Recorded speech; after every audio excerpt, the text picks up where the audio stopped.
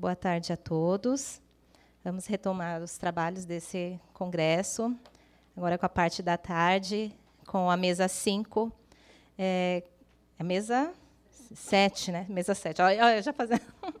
a mesa 7, é, cujo tema é impulsionando a agenda ESG no setor público, a inteligência artificial como aliada na promoção da sustentabilidade e da responsabilidade social no poder legislativo para a condução dos trabalhos. É, convido a doutora Rita de Cássia de França Teodoro para compor a mesa. A doutora Rita é procuradora da Câmara Municipal de Santos, mestre em Direito Internacional e, doutora, e doutoranda em Direito Ambiental Internacional pela Universidade Católica de Santos. É, para discutir é, os temas de, desse painel, é, convido os palestrantes, Dr. Alexandre Saliba, juiz federal da Primeira Vara Federal de Santos, mestre em Direito Ambiental, doutorando em Direito Ambiental Internacional pela Universidade Católica de Santos.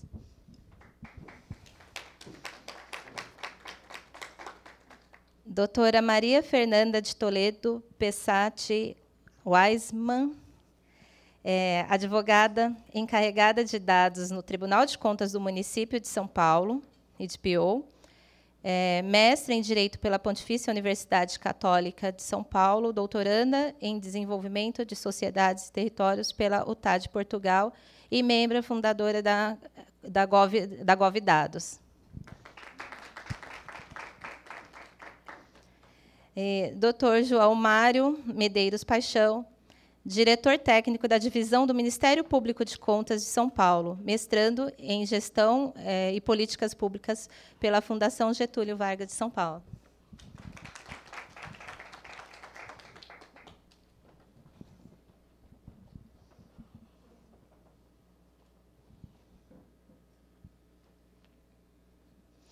Passo a palavra à mediadora dessa mesa, a doutora Rita.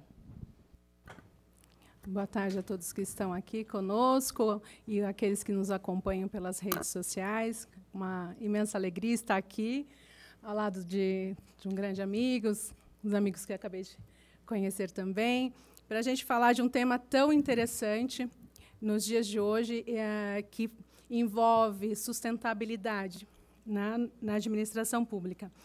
Nossa mesa vai falar impulsionando a agenda ESG no setor público, a inteligência artificial como aliada na promoção da sustentabilidade e da responsabilidade social no poder legislativo, como a doutora Marcelene acabou de falar. É, aqui nós estamos com os especialistas sobre o assunto. E antes de começar esse debate, é, passar a palavra, queria agradecer imensamente já a cada um de vocês que aceitaram estar aqui conosco e agradecer a como essa é a última mesa é, já agradecer toda a organização e, e todo, toda a equipe e todos aqueles que nos apoiaram para esse evento estar realizando. E é um, uma, uma, grande dificuldade né, fazer uma mesa após o almoço. Está todo mundo com sono na digestão aqui. Vamos é, encarar esse desafio né, de fazer uma mesa é, com sono, com a, com a, uma, tentar levar uma mesa bem bem desenvolvida aqui à tarde, né? E sem que a, a não durma. Esse é o grande desafio. Nós vamos fazer só uma inversão, que nós estamos falando na ordem que nós publicamos no site.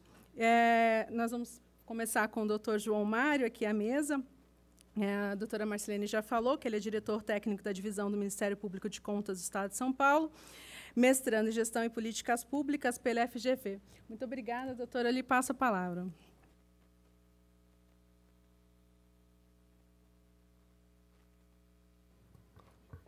Eu queria inicialmente dar uma boa tarde a todos e agradecer imensamente pelo convite. É uma honra estar aqui diante de um público tão qualificado, com colegas que certamente vão conseguir aqui trazer dados muito relevantes para a gente conseguir fazer um debate rico e tão importante para os dias de hoje, ainda mais aqui é, se tratando né, de advocacia legislativa e de um papel tão importante que é, a gente tem para conseguir trabalhar de uma forma mais inteligente essa riqueza de dados né, que o setor público possui e transformá-lo em informações que de fato consigam ali trazer uma melhoria do serviço público prestado para os cidadãos. Né? E para iniciar aqui essa minha breve fala, eu trouxe alguns dados de um estudo que a Microsoft encomendou para a PwC há alguns anos, né? para a gente ter uma noção do impacto estimado aí da inteligência artificial até meados aí de 2030. Né? Então, do ponto de vista econômico, esse estudo identificou um impacto aí de cerca de 15,7 trilhões de dólares até 2030 por conta do uso de inteligência artificial. Isso daí incluindo não só o setor público, privado também, né? no mundo todo. Em relação à questão ambiental, né, um impacto aí da IA de uma redução aí de 32 milhões de hectares de florestas que poderiam ser desmatadas caso, né, de fato, a IA seja utilizada para fiscalizar o cumprimento das leis que preservam aí o meio ambiente no mundo todo, né? E do ponto de vista da emissão de gases, né, de CO2, uma estimativa aí de uma redução de 4% na emissão, que pode parecer pouco, até 2030, mas isso daí é o equivalente à emissão anual junta né, de Canadá, Japão e Austrália. Então é bastante coisa. E um estudo aí bastante completo, tem muito mais dados. Quem tiver curiosidade, chama-se Medindo o Preço da IA, esse estudo. E eu fui atrás para entender, na época, mas como é que a IA, aquele chat GPT que a gente conhece, ou outras ferramentas, tem esse potencial de conseguir reduzir até emissão de CO2. Né? Como é que se passa ali de um programa no computador, de uma série de códigos, de ferramentas de dados, para a prática, para melhoria de produtividade, para uma ampliação aí de um PIB de um país. Né? E, basicamente, gente, isso é o cerne aqui da minha fala hoje, o que acontece é que ela tem uma grande capacidade de trabalhar rapidamente, de forma otimizada, os dados, transformando o dado em informação. Porque o dado, por si só, ele não tem muita utilidade para a gente. Agora, a informação, sim. E aí ela tem essa capacidade de fazer esse trabalho de uma forma muito inteligente. Então, eu trouxe aqui alguns casos, né? por exemplo, dados de imagens de satélite e de sensores terrestres, para a gente conseguir monitorar onde pode ter ali um indício de futuro desmatamento. E eu vou mostrar hoje, daqui a pouco, algumas ferramentas que a gente já tem disponíveis para qualquer cidadão ou para o setor público, para qualquer pessoa que tenha interesse em monitorar aqui no nosso país mesmo. Como é que a gente pode saber os próximos locais onde tem uma maior chance de acontecer uma queimada? E como é que isso é feito na prática? Como é que eles trabalham esses dados? E como eu consigo hoje ver, aqui mesmo em São Paulo, por exemplo, ou na Amazônia, como é que isso está sendo feito? Isso já é realidade, não é uma coisa que em 2040, em 2050, no filme de ficção científica vai acontecer. A gente já tem esse tipo de trabalho. Isso é disponível, inclusive, gratuitamente para quem tiver interesse. Uma outra utilidade também de A, implantação de sistemas de transporte sustentáveis. Né? E transporte, gente, sempre que a gente fala de transporte, isso tem a ver com produtividade, isso tem a ver com o nosso tempo. Porque o tempo que a gente perde no transporte é o tempo que a gente está deixando de trabalhar e mesmo de conviver com a nossa família. Então, como a gente pode utilizar a IA para pegar esses dados de sensores para, por exemplo, a gente ter semáforos inteligentes. Todo mundo já passou pela sensação de eu quero atravessar essa rua, o sinal está aberto para o carro, eu quero atravessar, não está vendo nenhum carro, o que é que eu faço? Até um dilema ético, né? E se a gente tiver sensores, para a gente ter semáforos inteligentes, para a gente saber, olha, aqui é o momento desse sinal fechar, aquele abrir, porque o sensor está indicando que aqui é a forma mais inteligente de fazer isso.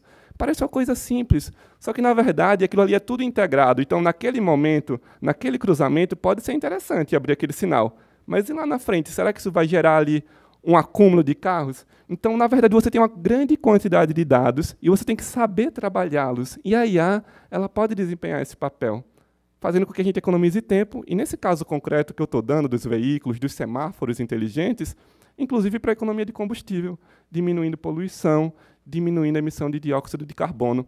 Isso tudo volta para aqueles dados que eu estava mostrando lá no início. Então, na verdade, está tudo linkado. Né? Você ter sensores, você ter dados e você conseguir trabalhá-los para transformar em informações e em decisões, como, por exemplo, abro ou fecho esse, esse semáforo. Então, aqui é um exemplo prático de como fazer isso. Né? E uma outra situação também em relação né, à própria qualidade do ar. E aí vem os impactos para políticas de saúde pública a gente conseguir trabalhar dados para monitorar quando, por exemplo, vai acontecer uma piora na qualidade do ar, para que as pessoas, por exemplo, comecem a se hidratar com mais frequência naquele dia, bebam água com mais frequência, porque a qualidade do ar vai cair. E aí você tem também ferramentas de ar inseridas no cotidiano dessas pessoas, seja no celular, seja ali via um dispositivo, um Alexa da vida, para te dizer, olha, já começa a se hidratar cedo, porque hoje a qualidade do ar vai piorar. E o impacto que isso aí pode ter em relação à redução de custos com o sistema de saúde né, foi estimado também nesse estudo. Então, eles previram ali que até 2030 uma redução de 150 milhões de dólares em gastos com sistemas de saúde, caso os sistemas de ar sejam utilizados como eles estavam prevendo ali. Então, assim, não falta né, aplicação para IA. E eu trouxe aqui um exemplo prático né, de, um, de, um, de um projeto, e qualquer pessoa pode acessar isso, né, o Previsia, e basicamente ele utiliza ali uma série de imagens de satélites para monitorar o risco de desmatamento na Amazônia. E uma coisa interessante que eles fazem, eles trabalham com vários tipos de dados, mas um, um dos focos deles é entender onde estão sendo construídas estradas clandestinas. Porque existem vários estudos que demonstram que geralmente as queimadas e os desmatamentos acontecem nas proximidades dessas estradas clandestinas. E se você começa a estudar esse traçado, você também começa a prever, olha, nesse entorno dessas estradas, provavelmente ali vai ter um possível desmatamento.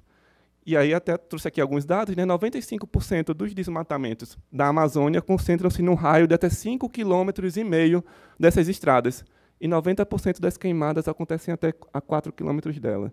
Então, ali, com uma série de informações, você começa a gerar alertas para períodos específicos, e o Previsa ele faz isso. E qualquer pessoa pode entrar, acessar esse mapa, e inserindo ali regiões e dizendo, olha, aqui nesse local eu posso ter ali um possível desmatamento, uma possível queimada, e isso vale também para fins de elaboração de políticas públicas. Né? Para onde eu vou destinar esses recursos do meu orçamento? Para onde é que são as áreas que têm o maior risco? E onde eu vou conseguir esses dados? Então, a gente tem a ferramenta.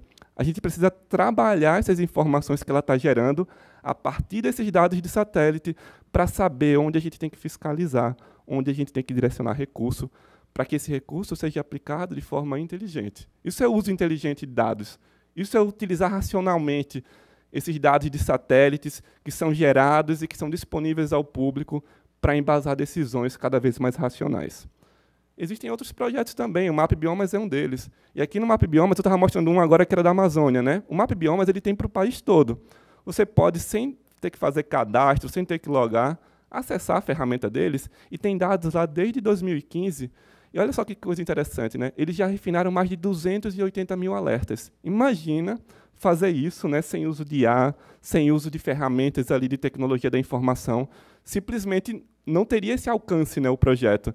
Eu vou fazer uma demonstração aqui daqui a pouco é, de como a gente pode extrair esses dados da ferramenta é, de forma gratuita, usando um navegador de internet, sem ter que baixar nenhum aplicativo, para justamente conseguir utilizar esses dados para poder fazer políticas públicas embasadas em dados, né, em informações que realmente são é, úteis para que a gente saiba onde aplicar o recurso público.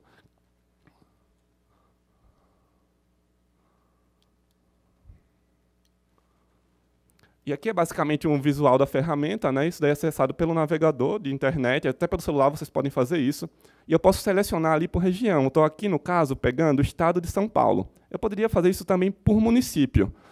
Ele já mostra ali no lado é, o mapa do Brasil, ele está pegando o país todo e ele vai começar a aplicar alguns filtros. Eu vou pedir para ele olhar para todos os casos e eu posso, inclusive, escolher se eu quero ver o impacto da agropecuária, da aquicultura, da mineração, do garimpo, de estradas. E eu posso, inclusive, escolher as minhas fontes de informações. Eu quero só dados de instituições públicas, do SOS Mata Atlântica, de dados do, quero dados do INPE especificamente. Eu posso ir fazendo todos esses filtros. Eu estou pegando todos. E eu posso ir dando um zoom e ele já vai mostrar ali os dados específicos de São Paulo. Inclusive a evolução, ano a ano, desses alertas e os municípios em que houve o maior número ali de áreas com esses alertas de possíveis desmatamentos. E eu posso ir aplicando né, um zoom nessa ferramenta para ir vendo ali as áreas né, que estão indicadas ali com esse tracejado vermelho, e cada área dessa é um alerta. Ele vai gerar um laudo para mim, onde eu consigo essa foto do satélite, o antes e o depois. Isso daqui é um caso real, e a gente consegue ver como era antes, estava verde entre, naquela área vermelha, e agora está uma coloração mais azulada, porque aquilo ali foi desmatado. Ele vai me dizer quais foram os dados que ele usou, e qual é a data da fonte de cada um desses dados e a metodologia empregada. Esse relatório eu posso baixar e usar para fins de controle, inclusive. Então, assim, a gente pensa muito no legislativo proposição de leis, mas o legislativo tem um papel importante de controle. Ele é o titular do controle externo por excelência. Ele tem o apoio do Tribunal de Contas, mas ele pode fiscalizar.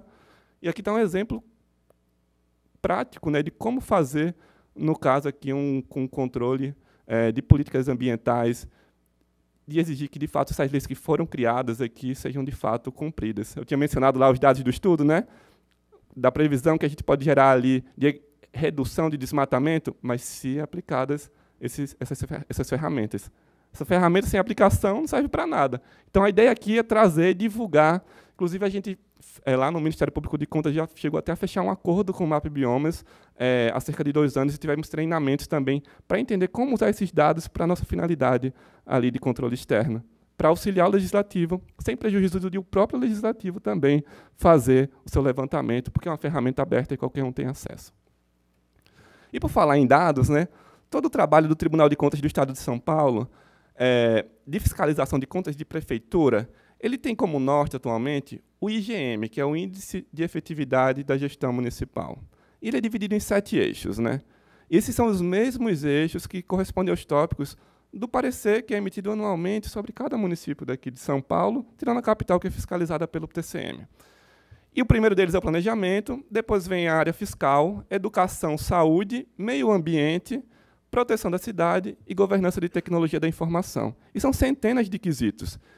E aquilo dali serve tanto para o tribunal fiscalizar o jurisdicionado, que anualmente vai lá e preenche esses quesitos, quanto para o próprio jurisdicionado e o cidadão ter um raio-x da situação de cada município.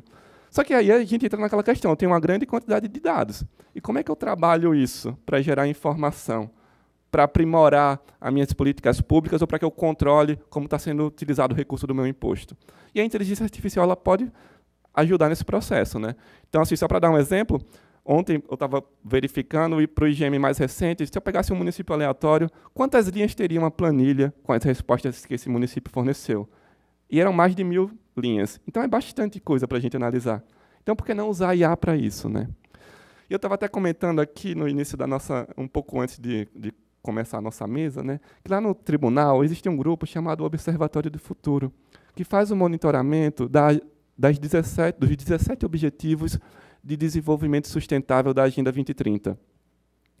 E na época que eu fazia parte desse grupo, a gente tinha uma missão que era montar um painel público a partir desses dados do IGM, que são todos públicos, qualquer cidadão pode ter acesso, para poder fazer uma espécie de raio-x de como estavam os ODS em cada município jurisdicionado.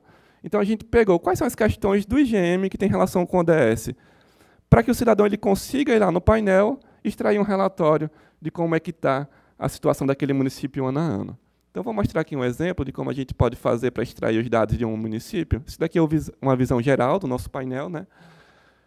E eu posso selecionar por exercício, posso selecionar por meta, ou posso selecionar também por objetivo. E se eu não fizer seleção alguma, ele vai pegar um relatório geral. Né?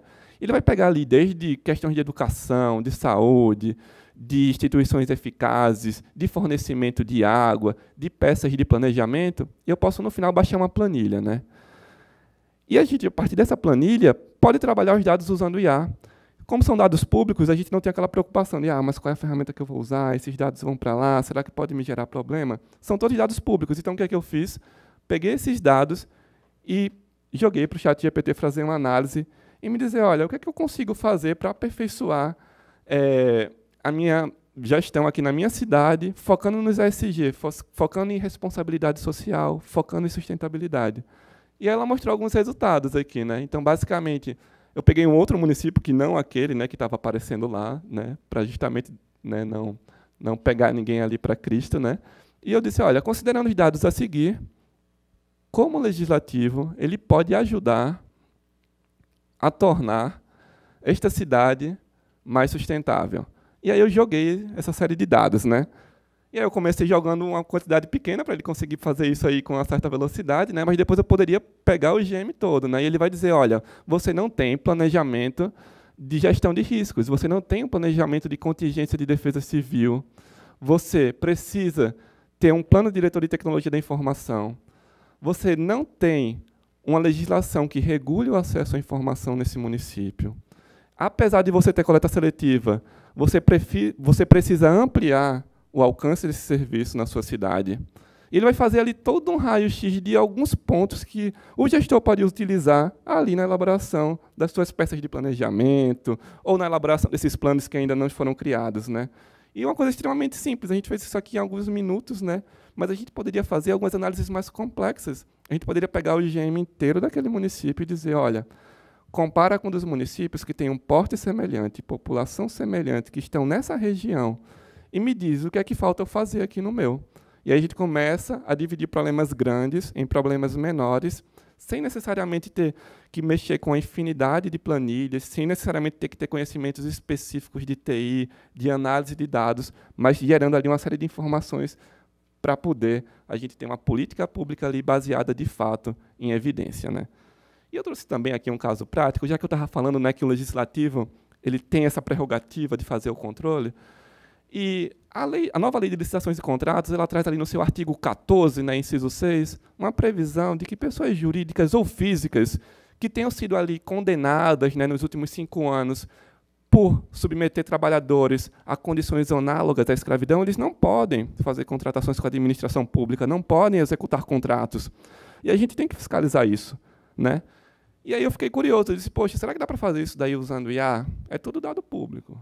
O Ministério do Trabalho e Emprego divulga periodicamente essa lista atualizada, completa, com a, o nome, CPF e CNPJ dessas pessoas condenadas à data do trânsito em julgado da decisão. E a gente tem também os dados do próprio tribunal, que a gente consegue acessar o portal da Transparência Municipal, qualquer cidadão, sem ter que logar. Entra lá, coloca o nome, do, o nome da pessoa, ou o CPF, ou o CNPJ, ele vai mostrar todos os empenhos, liquidações, pagamentos emitidos desde 2014 até 2024. E aí eu pedi para a IA, olha, IA, você consegue acessar a internet. Aqui estão os links, boa sorte, me diz aí quem está contratando. E a IA me disse, olha, não consigo. E aí entra uma dica importante, a IA às vezes não consegue resolver o problema porque a gente não perguntou adequadamente. E aí a gente tem que fazer algo meio cartesiano, a gente tem que dividir o problema em partes menores para que ela consiga resolvê-lo. Então, o que eu fiz? Primeiro eu disse, ah, então vamos trabalhar esses dados do Ministério do Trabalho. Pega esse PDF, transforma numa planilha. Agora, tira os pontos e traços de CPFs e CNPJ, porque o, o portal da transparência do tribunal ele só quer números. E fui fazendo essa limpeza né, nos dados, fui focando nos dados de São Paulo, disse, olha, provavelmente não vai ter empresas de outros estados aqui. É a maior chance de ser empresas de São Paulo mesmo, que estão contratando com a administração pública. Então, foca nelas, pega esses CNPJs. Depois que eu estava com essa lista completa, eu disse, agora pega essa lista e vai criando os links para o site do tribunal para eu ter acesso se houve contratação. E ela me gerou uma lista, uma planilha, em que eu fui só clicando e vendo se realmente estava acontecendo ou não a contratação. E para quem ficou curioso, né, se no final das contas né, houve algum achado ou não, ela apontou ali quatro ocorrências né, de CNPJs que tinham recebido algum tipo de pagamento da administração pública nos últimos dez anos, só que, no caso, isso daí tinha sido antes do trânsito julgado da decisão, então, na verdade, estava regular a situação. Só que um levantamento a ser feito periodicamente, né, porque essa lista vai ser atualizada, né, essas contratações vão continuar acontecendo. Então, qualquer cidadão, o próprio Poder Legislativo, qualquer vereador, qualquer procurador legislativo pode simplesmente pegar e fazer a mesma, o mesmo, a mesma rotina que eu mencionei aqui para verificar se ali na sua cidade está havendo esse tipo de contratação. Tudo com dado público, tudo com ferramenta gratuita. Então, assim, isso já é realidade. Não é que em 2050 isso vai acontecer. E, era, e essa era, era a principal mensagem que eu queria trazer aqui hoje. Né? É, isso tudo já está fazendo parte do nosso dia a dia. E o que a gente precisa é eu até queria trazer aqui uma mensagem que a nossa procuradora lá no MP de Contas tem trazido ali nas falas dela, é enfrentar esse medo do novo. Que o novo ele sempre gera medo. Ninguém quer ser cobaia de nada, né? Gera sempre um receio da, e se eu fizer uma besteira, e se eu colocar um dado que eu não podia? Mas o que a gente precisa é conhecer e entender as potencialidades e as limitações da ferramenta para usá-la com responsabilidade, para tomar decisões realmente embasadas aí em dados para que a gente consiga realmente ter o maior proveito dos recursos aí que são pagos pelos nossos cidadãos. Era essa a mensagem que eu queria trazer aqui hoje.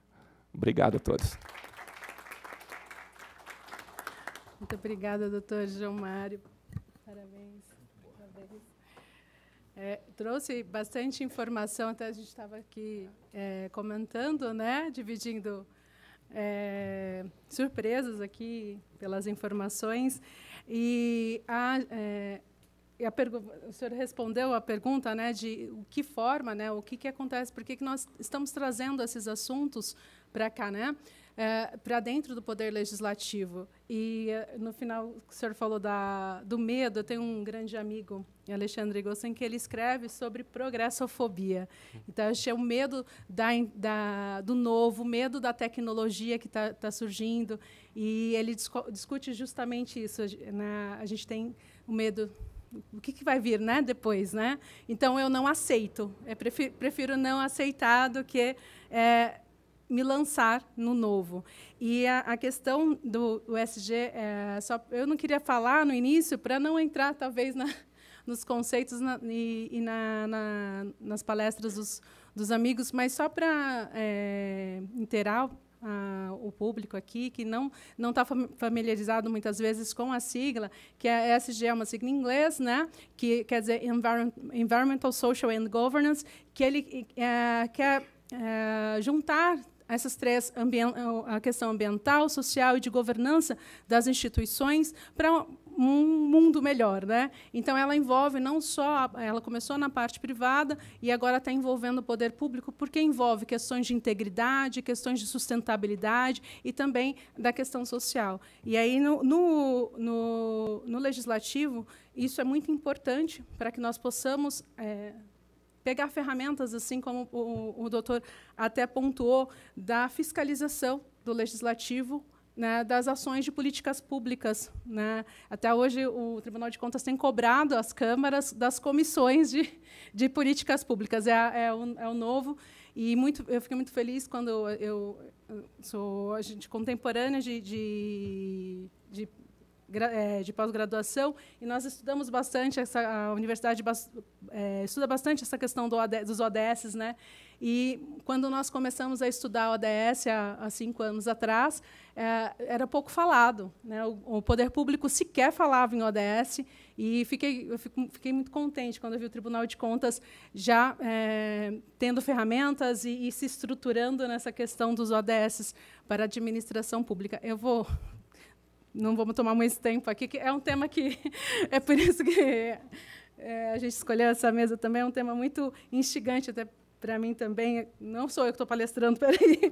Deixa eu passar a palavra aqui para para a doutora Maria Fernanda de Toledo Pessati Westman. Westman advogada encarregada de dados do Tribunal de Contas do município de São Paulo e de PO, mestre em Direito pela Pontifícia Universidade Católica de São Paulo, PUC São Paulo, doutorando em Desenvolvimento e Sociedades e Territórios pela UTAD, Portugal, e membro fundador da Gov Dados. Doutora, a palavra está com a senhora. Agora estão? Todo mundo? Obrigada. Para passar. Obrigada, Rita, é, pela delicadeza e competência né, com que ela faz a mediação. E eu já aproveito aqui a Rita e a Marcilene para agradecer o cuidado na curadoria do evento. É, não é porque eu sou mulher, mas eu acho que mulher organizando é outra coisa. Né? A curadoria fica diferente, a escolha do tema, a organização é muito mais delicado, competente ao mesmo tempo. Então, obrigada. É um prazer ter vocês por perto sempre, né? É, os meus colegas de mesa, é, doutor Alexandre e doutor João Mário, professores aqui, que eu tenho o desafio de suceder nessa mesa e de forma muito mais sutil, confesso. Eu tenho duas coisas para falar agora no início. Primeiro, eu pedi desculpa porque eu já estou um pouco ofegante, minha barriga já está crescendo, então pode ser que eu fique um pouco ofegante aqui na minha fala, que não vai demorar muito. Do meu colega é, não dá para negar, assim, eu fiquei aqui olhando, fiquei com uma inveja boa, tá? É, e com a tecnicidade que ele lida com o tema, facilidade, e me, me facilita muito porque vai é, me poupar de dar alguns exemplos e ferramentas práticas, que, aliás, eu já anotei tudo aqui, é, que feito de uma forma muito, muito bem explicadinha ali e explícita, a gente dava até vontade de simular alguma coisa, né? Fiquei até vontade de perguntar, vamos simular alguma coisa aqui junto. É, mas eu vou ficar restrita aqui a uma, algo mais aparentemente simples, né, que é o como fazer. Eu acho que todo mundo já sabe. Cadê? Foi? foi? Pronto, foi. É, não precisa olhar muito para PowerPoint, não, tá, gente? Não precisa olhar muito. Né? É, todo mundo já sabe que é, o Poder Legislativo deve se adaptar às boas práticas dos três pilares que a gente sabe: ambiental, social, de governança, é, a integração com os objetivos do desenvolvimento sustentável, esses quadradinhos famosos né, da agenda da ONU 2030. E eu acho que isso é, é algo todo mundo conhece. Né? Inclusive, não se discute é, que a IA pode impulsionar né, essas práticas, né, essas boas práticas. Acho que isso não se discute.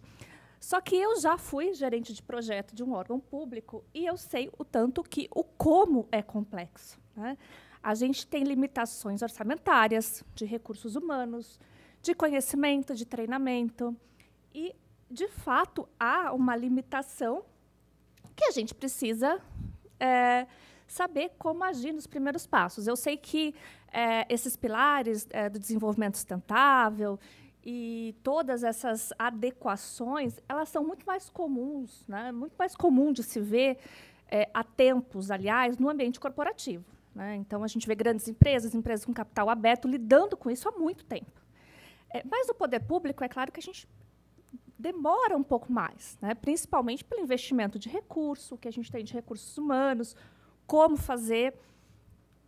E eu queria falar um pouquinho disso. Uh, a primeira questão é que uh, eu acho que já ficou claro aqui na nossa palestra anterior, alguns exemplos e a existência de ferramentas hoje, algumas podem ser desenvolvidas ainda, mas já temos ferramentas hoje para impulsionar é, essas, essas boas práticas, né? Em dois aspectos, né? duas das duas funções típicas do Poder Legislativo. A primeira, né, norma jurídica adaptável a essa cultura. Né? Então, a primeira coisa é adequar procedimento regimental é, para introduzir inteligência artificial, é, impulsionando ali as boas práticas ambientais, sociais, de governança, e a segunda função típica do Poder Legislativo, que tem que ser adaptada, é tornar o controle mais receptivo a essas transformações culturais. Né? A gente falou disso agora. E um mundo de possibilidade. Não vou repetir aqui, nem tenho é, a mesma habilidade que o professor João de dar aqueles enormes exemplos, mas eu pesquisei e achei algumas questões interessantes. É, uma delas é a adaptação do próprio regimento interno para a utilização dessas ferramentas no processo legislativo. Então, eu tenho um projeto de lei que trata de meio ambiente, por que não utilizar das ferramentas que foram citadas, né? tornar isso culturalmente. Né? A gente fala muito em obrigação, né? tem que normatizar tudo. Nós, toda vez que a gente tiver um projeto de lei tratando de uma questão socioambiental, então temos que utilizar a inteligência artificial tal. Não, é uma questão cultural, né? No decorrer ali do projeto de lei, ser, ser cultural, né? Ser algo comum dentro do poder legislativo pedir auxílio para ferramentas de inteligência artificial, né? De, geo, de geoprocessamento de dados. É, hoje em dia, imagem de satélite, você vai tratar de desmatamento, você consegue selecionar ali a região que você quer, como aquilo está sendo tratado. Né? Isso devia já ser uma cultura adquirida dentro do Poder Legislativo. Outra coisa que a gente não olha, né, não tem esse costume, é que esses pilares é, também envolvem o pilar de governança interna. Então, aprimorar né, usar a inteligência artificial para aprimorar a rotina interna da própria Casa Legislativa.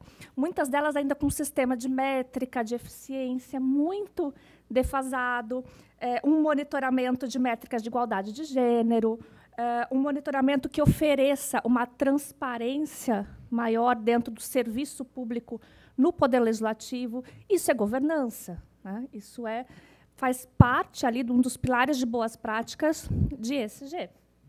É, então, por que não pensar nessa adaptação né, e na utilização de inteligência artificial para a rotina administrativa do Poder Legislativo? É, e outro exemplo também que eu pensei, uh, e também já tenho me deparado com ele, é no decorrer de um processo legislativo, por exemplo, que trate dessa temática, desenvolvimento sustentável, ser obrigatória audiência pública. E uma audiência pública, obviamente, não convencional, mas utilizando a inteligência artificial. Essa semana, essa semana no TCM, trabalho no TCM aqui de São Paulo, a nossa sessão plenária foi aberta por um avatar, é, e ele traduzindo em diversas línguas simultâneas né, a sessão. E para fazer esse teste. Né, talvez uma audiência pública que vá resgatar aí, artigos acadêmicos em, outras, em outros idiomas, poder fazer uma tradução simultânea, rápida, é, para tornar acessível o controle social também nesse momento. Né? Já, já pode ser é, aderido pelo Poder Legislativo, sem dúvida nenhuma. O que mais? Opa! Bom, tratando ainda no de que forma, eu coloquei três passos bem simples, tá? Ainda pensando nessa dificuldade que a gente fala, a gente é tudo muito bonito, né? Existem muito, muitos programas, muitas ferramentas, mas eh, ainda me deparando aqui com o poder legislativo quando eu falo de município de interior, uma casa de leis pequena, né, com uma estrutura pequena, que às vezes não tem tanto investimento nem em tecnologia simples, né, que dirá em grandes ferramentas, mas é possível. Tá? E alguns passos são bem básicos e elementares. O primeiro deles é a criação de uma frente ou grupo parlamentar para tratar da, da matéria. É, diversas câmaras municipais e o Congresso Nacional já têm a sua frente parlamentar né, é, para tratar de diretriz e prática de função típica do legislativo relacionado à responsabilidade socioambiental, é, sustentabilidade e governança. É, é claro, sempre fazendo essa essa integração com a ODS né, e o estudo do avanço da tecnologia. Então, a primeira coisa é assumir um compromisso com a matéria. Né? É tentar conscientizar, é, aproveitar ali que está em época de eleição, né? tentar conscientizar que isso precisa ser um compromisso dentro do Poder Legislativo. E fazendo isso, acredito de uma forma muito eficaz, já tem algumas câmaras fazendo, é, essa criação é, de frentes ou grupo parlamentares.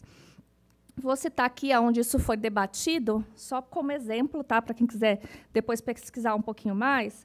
Uh, inclusão social e diversidade foi destaque na conferência desse ano de sustentabilidade no legislativo. Então, eles falaram bastante nessa questão da criação de grupo parlamentar.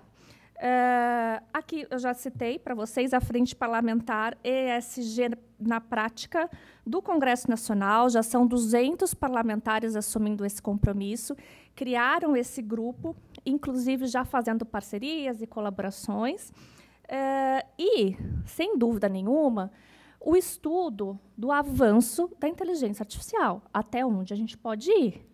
Não adianta a gente falar, nossa, é muito bom, é muito bom, mas qual vai ser o limite e a regulamentação? A gente sabe que a regulamentação da inteligência artificial na Europa já está bem avançada, como a de proteção de dados, né? mas aqui a gente ainda tem muitos entraves. Eu acho que foi adiada essa votação desse PL. Um, se vocês quiserem esse PowerPoint maravilhoso, é só clicar no link que tem o PL lá. É, depois as, as, meninas podem é, passar para todo mundo. É, e esse PL já foi adiado algumas vezes, então já tem entraves para saber o limite da utilização da, da, inteligência artificial. Tem que acompanhar. Né? É claro que todo mundo sabe que ela vem para colaborar, que a gente não deve ter medo, mas a gente tem que acompanhar é, esse avanço. Então, esse grupo parlamentar, ou essa frente, esse grupo de estudo, também vai ter que estar tá ali de olho nessa questão. É, bom, ainda falando das, das, das possibilidades do como fazer, começar com educação e capacitação, o que está se fazendo aqui hoje. Né? Ampliar essa capacitação e educação. Quando eu falo um pouco dessa matéria, eu vejo que no serviço público, na ponta, há uma deficiência uh, do básico. O que são práticas sustentáveis? Né? Não é só ah, deixar o copinho plástico. Né? É muito além do que isso. É prática, às vezes, sustentável, que a gente consegue ali no dia a dia, com nossa ferramenta da nossa própria tecnologia da informação, às vezes, desenvolver. Né? Compreender o estudo da máquina que substitui a inteligência humana. Como que ela chega naquele resultado? Né? Como é que é esse processo da máquina chegando no resultado? É, e compreender questões éticas da utilização da inteligência artificial. É, e aí eu deixo uma questão bem polêmica, que eu acho que é hoje uma das mais polêmicas, se o poder público pode usar sistema de IA para avaliar, classificar os cidadãos com base no seu comportamento social ou na sua personalidade. Para quê? Para controlar o acesso de bens e serviços. Isso é uma questão é, clássica, né, que tem uma certa polêmica. Eu acho que pode, desde que bem regulamentado. Né? É, recentemente eu tive acesso ao, ao planejamento das Olimpíadas da Prefeitura de Paris, que ela fez uma cartilha gigantesca para justificar esse monitoramento de comportamento social, dizendo aonde esses dados estão sendo gravados, aonde a biometria das pessoas estão sendo gravadas, para quê, né, para criar um ambiente mais sustentável nas Olimpíadas. Então, a regulamentação é, a, a, prática da regulamentação, o como vai ser feito, importa muito mais do que né, se pode ou não pode, uma pergunta tão objetiva. A verdade é que a gente tem que acompanhar né, esse avanço da, da tecnologia um, um pouco nesse sentido. E aqui, o que mais? Educação e capacitação. Eu, opa, Eu termino para dizer que a ausência, às vezes, de recurso orçamentário não é desculpa, né? porque 90% hoje dos órgãos públicos fazem parcerias. Eu tava, a gente estava conversando agora. Né? Fazem parcerias para utilizar os sistemas. É, recentemente, é, eu estava em contato com o pessoal do TCU, eles têm o chat TCU.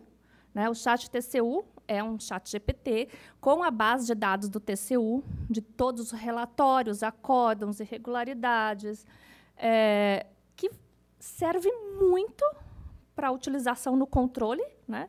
Um banco de dados super rico, é, que eu acho que pode ser incorporado. Por que não fazer, eventualmente, um convênio, uma parceria, né? procurar o responsável, é, já tem lá, eles já, já, utilizam muito, eles já fazem, por exemplo, os relatórios já são mais automatizados por inteligência artificial, as justificativas. Então, no âmbito do poder legislativo, a gente pode, por exemplo, fazer busca num, num chat daquilo que já foi julgado inconstitucional, é, de algumas outras regras é, de processo legislativo, poupando nosso tempo, automatizando de uma forma responsável.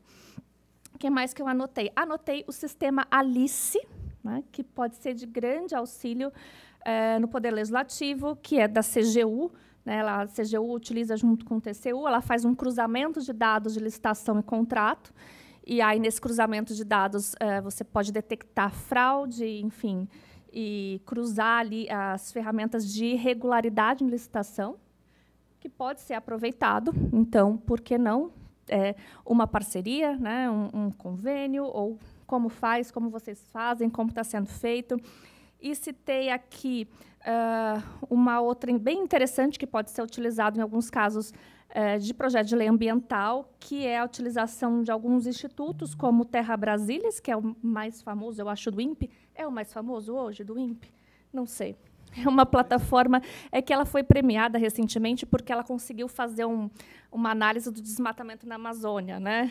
É, Brasil mais é isso. E aí é, já vi também que o INPE aceita diversas colaborações, convênios, parcerias, né, para utilizar no âmbito, quem sabe, do território do município, né? No futuro ainda acho que isso pode ser ampliado. E uh, um outro exemplo de parceria, que é óbvio que a Frente Parlamentar do Congresso Nacional não começou do zero. Né? Ela começou como? Com uma parceria, ela precisava de ação educativa, de como fazer, é, e utilizou do que? De uma associação civil, que chama Instituto Global é, ESG, é, é uma associação civil que faz muito esse monitoramento que está em apoio com a frente parlamentar. Ninguém consegue né, caminhar uh, sozinho, então a gente tem que contar com o apoio uh, desses institutos, dessas instituições públicas e, por que não, né, pegar emprestado, às vezes, o que a gente tem é, do ambiente corporativo, que deu certo, para utilizar em favor da, do Poder Legislativo. É isso. vou deixar aqui o espaço para o professor Alexandre, que, sem dúvida nenhuma, é, tem também uma tecnicidade da matéria bem mais robusta que eu. Agradecer a atenção de todo mundo, é, me colocar à disposição. Também estou aqui para aprender. Se alguém quiser depois compartilhar alguma ideia, vai ser sempre muito bem-vinda. Obrigada.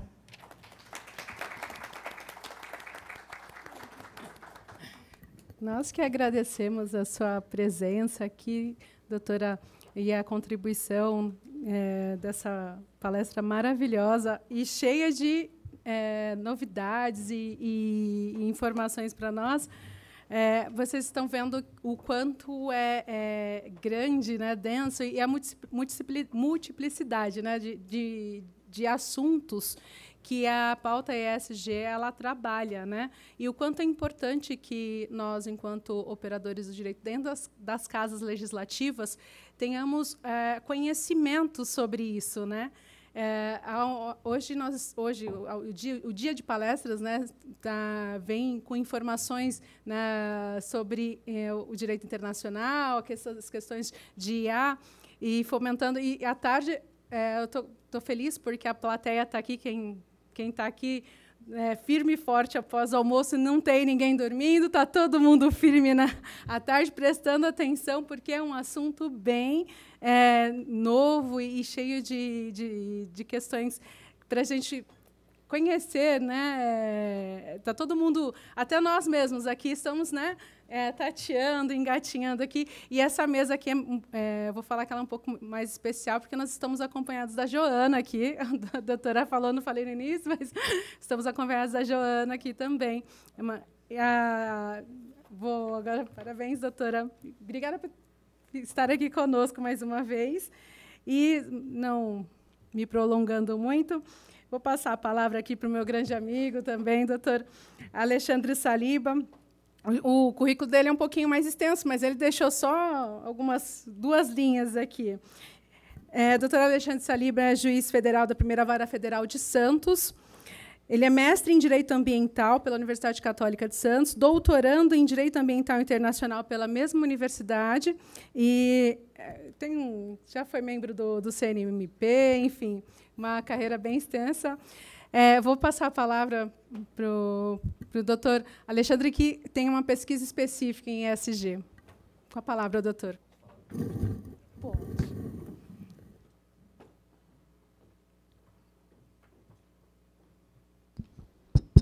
Boa tarde a todos. Eu gostaria inicialmente de cumprimentar a minha amiga e colega, a doutora Rita de Cássia, colega do doutorado lá da nossa Universidade Católica de Santos é, extensivo aqui também aos colegas do dispositivo aqui, o doutor João, a doutora Maria Fernanda e a Joana, que em breve estará entre nós. Um abraço especial para todos aqui. É, eu sou magistrado, mas é, vou falar aqui. Estou aqui no púlpito, estou no parlamento, estou na Casa de Leis, então me sinto. É, já gosto de falar de pé, porque é, aprendi a sempre me expressar dessa maneira, mas Nesse momento, então, é, lugar mais propício não pode existir do que estar falando aqui para vocês é, de pé. Uh, eu ouvi muitas colocações aqui sensacionais, fantásticas. Pensei até em mudar minha fala, viu, Rita?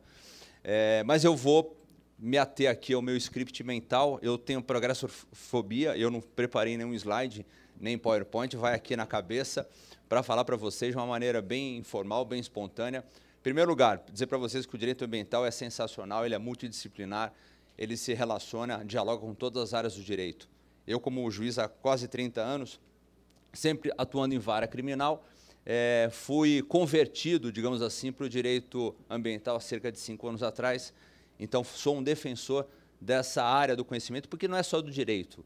Você, como um estudante, e nós todos aqui, eternos estudantes da área ambiental, nós acabamos nos deparando com outras disciplinas, outras áreas do conhecimento. Então, ele é multidisciplinar, não só porque é transversal com outras áreas do direito, outros ramos, mas com outros ramos do conhecimento. Então, quando eu vou decidir uma questão ambiental, eu preciso, muitas vezes, de um laudo técnico, de um geólogo, de um químico, de um agrônomo e por aí vai.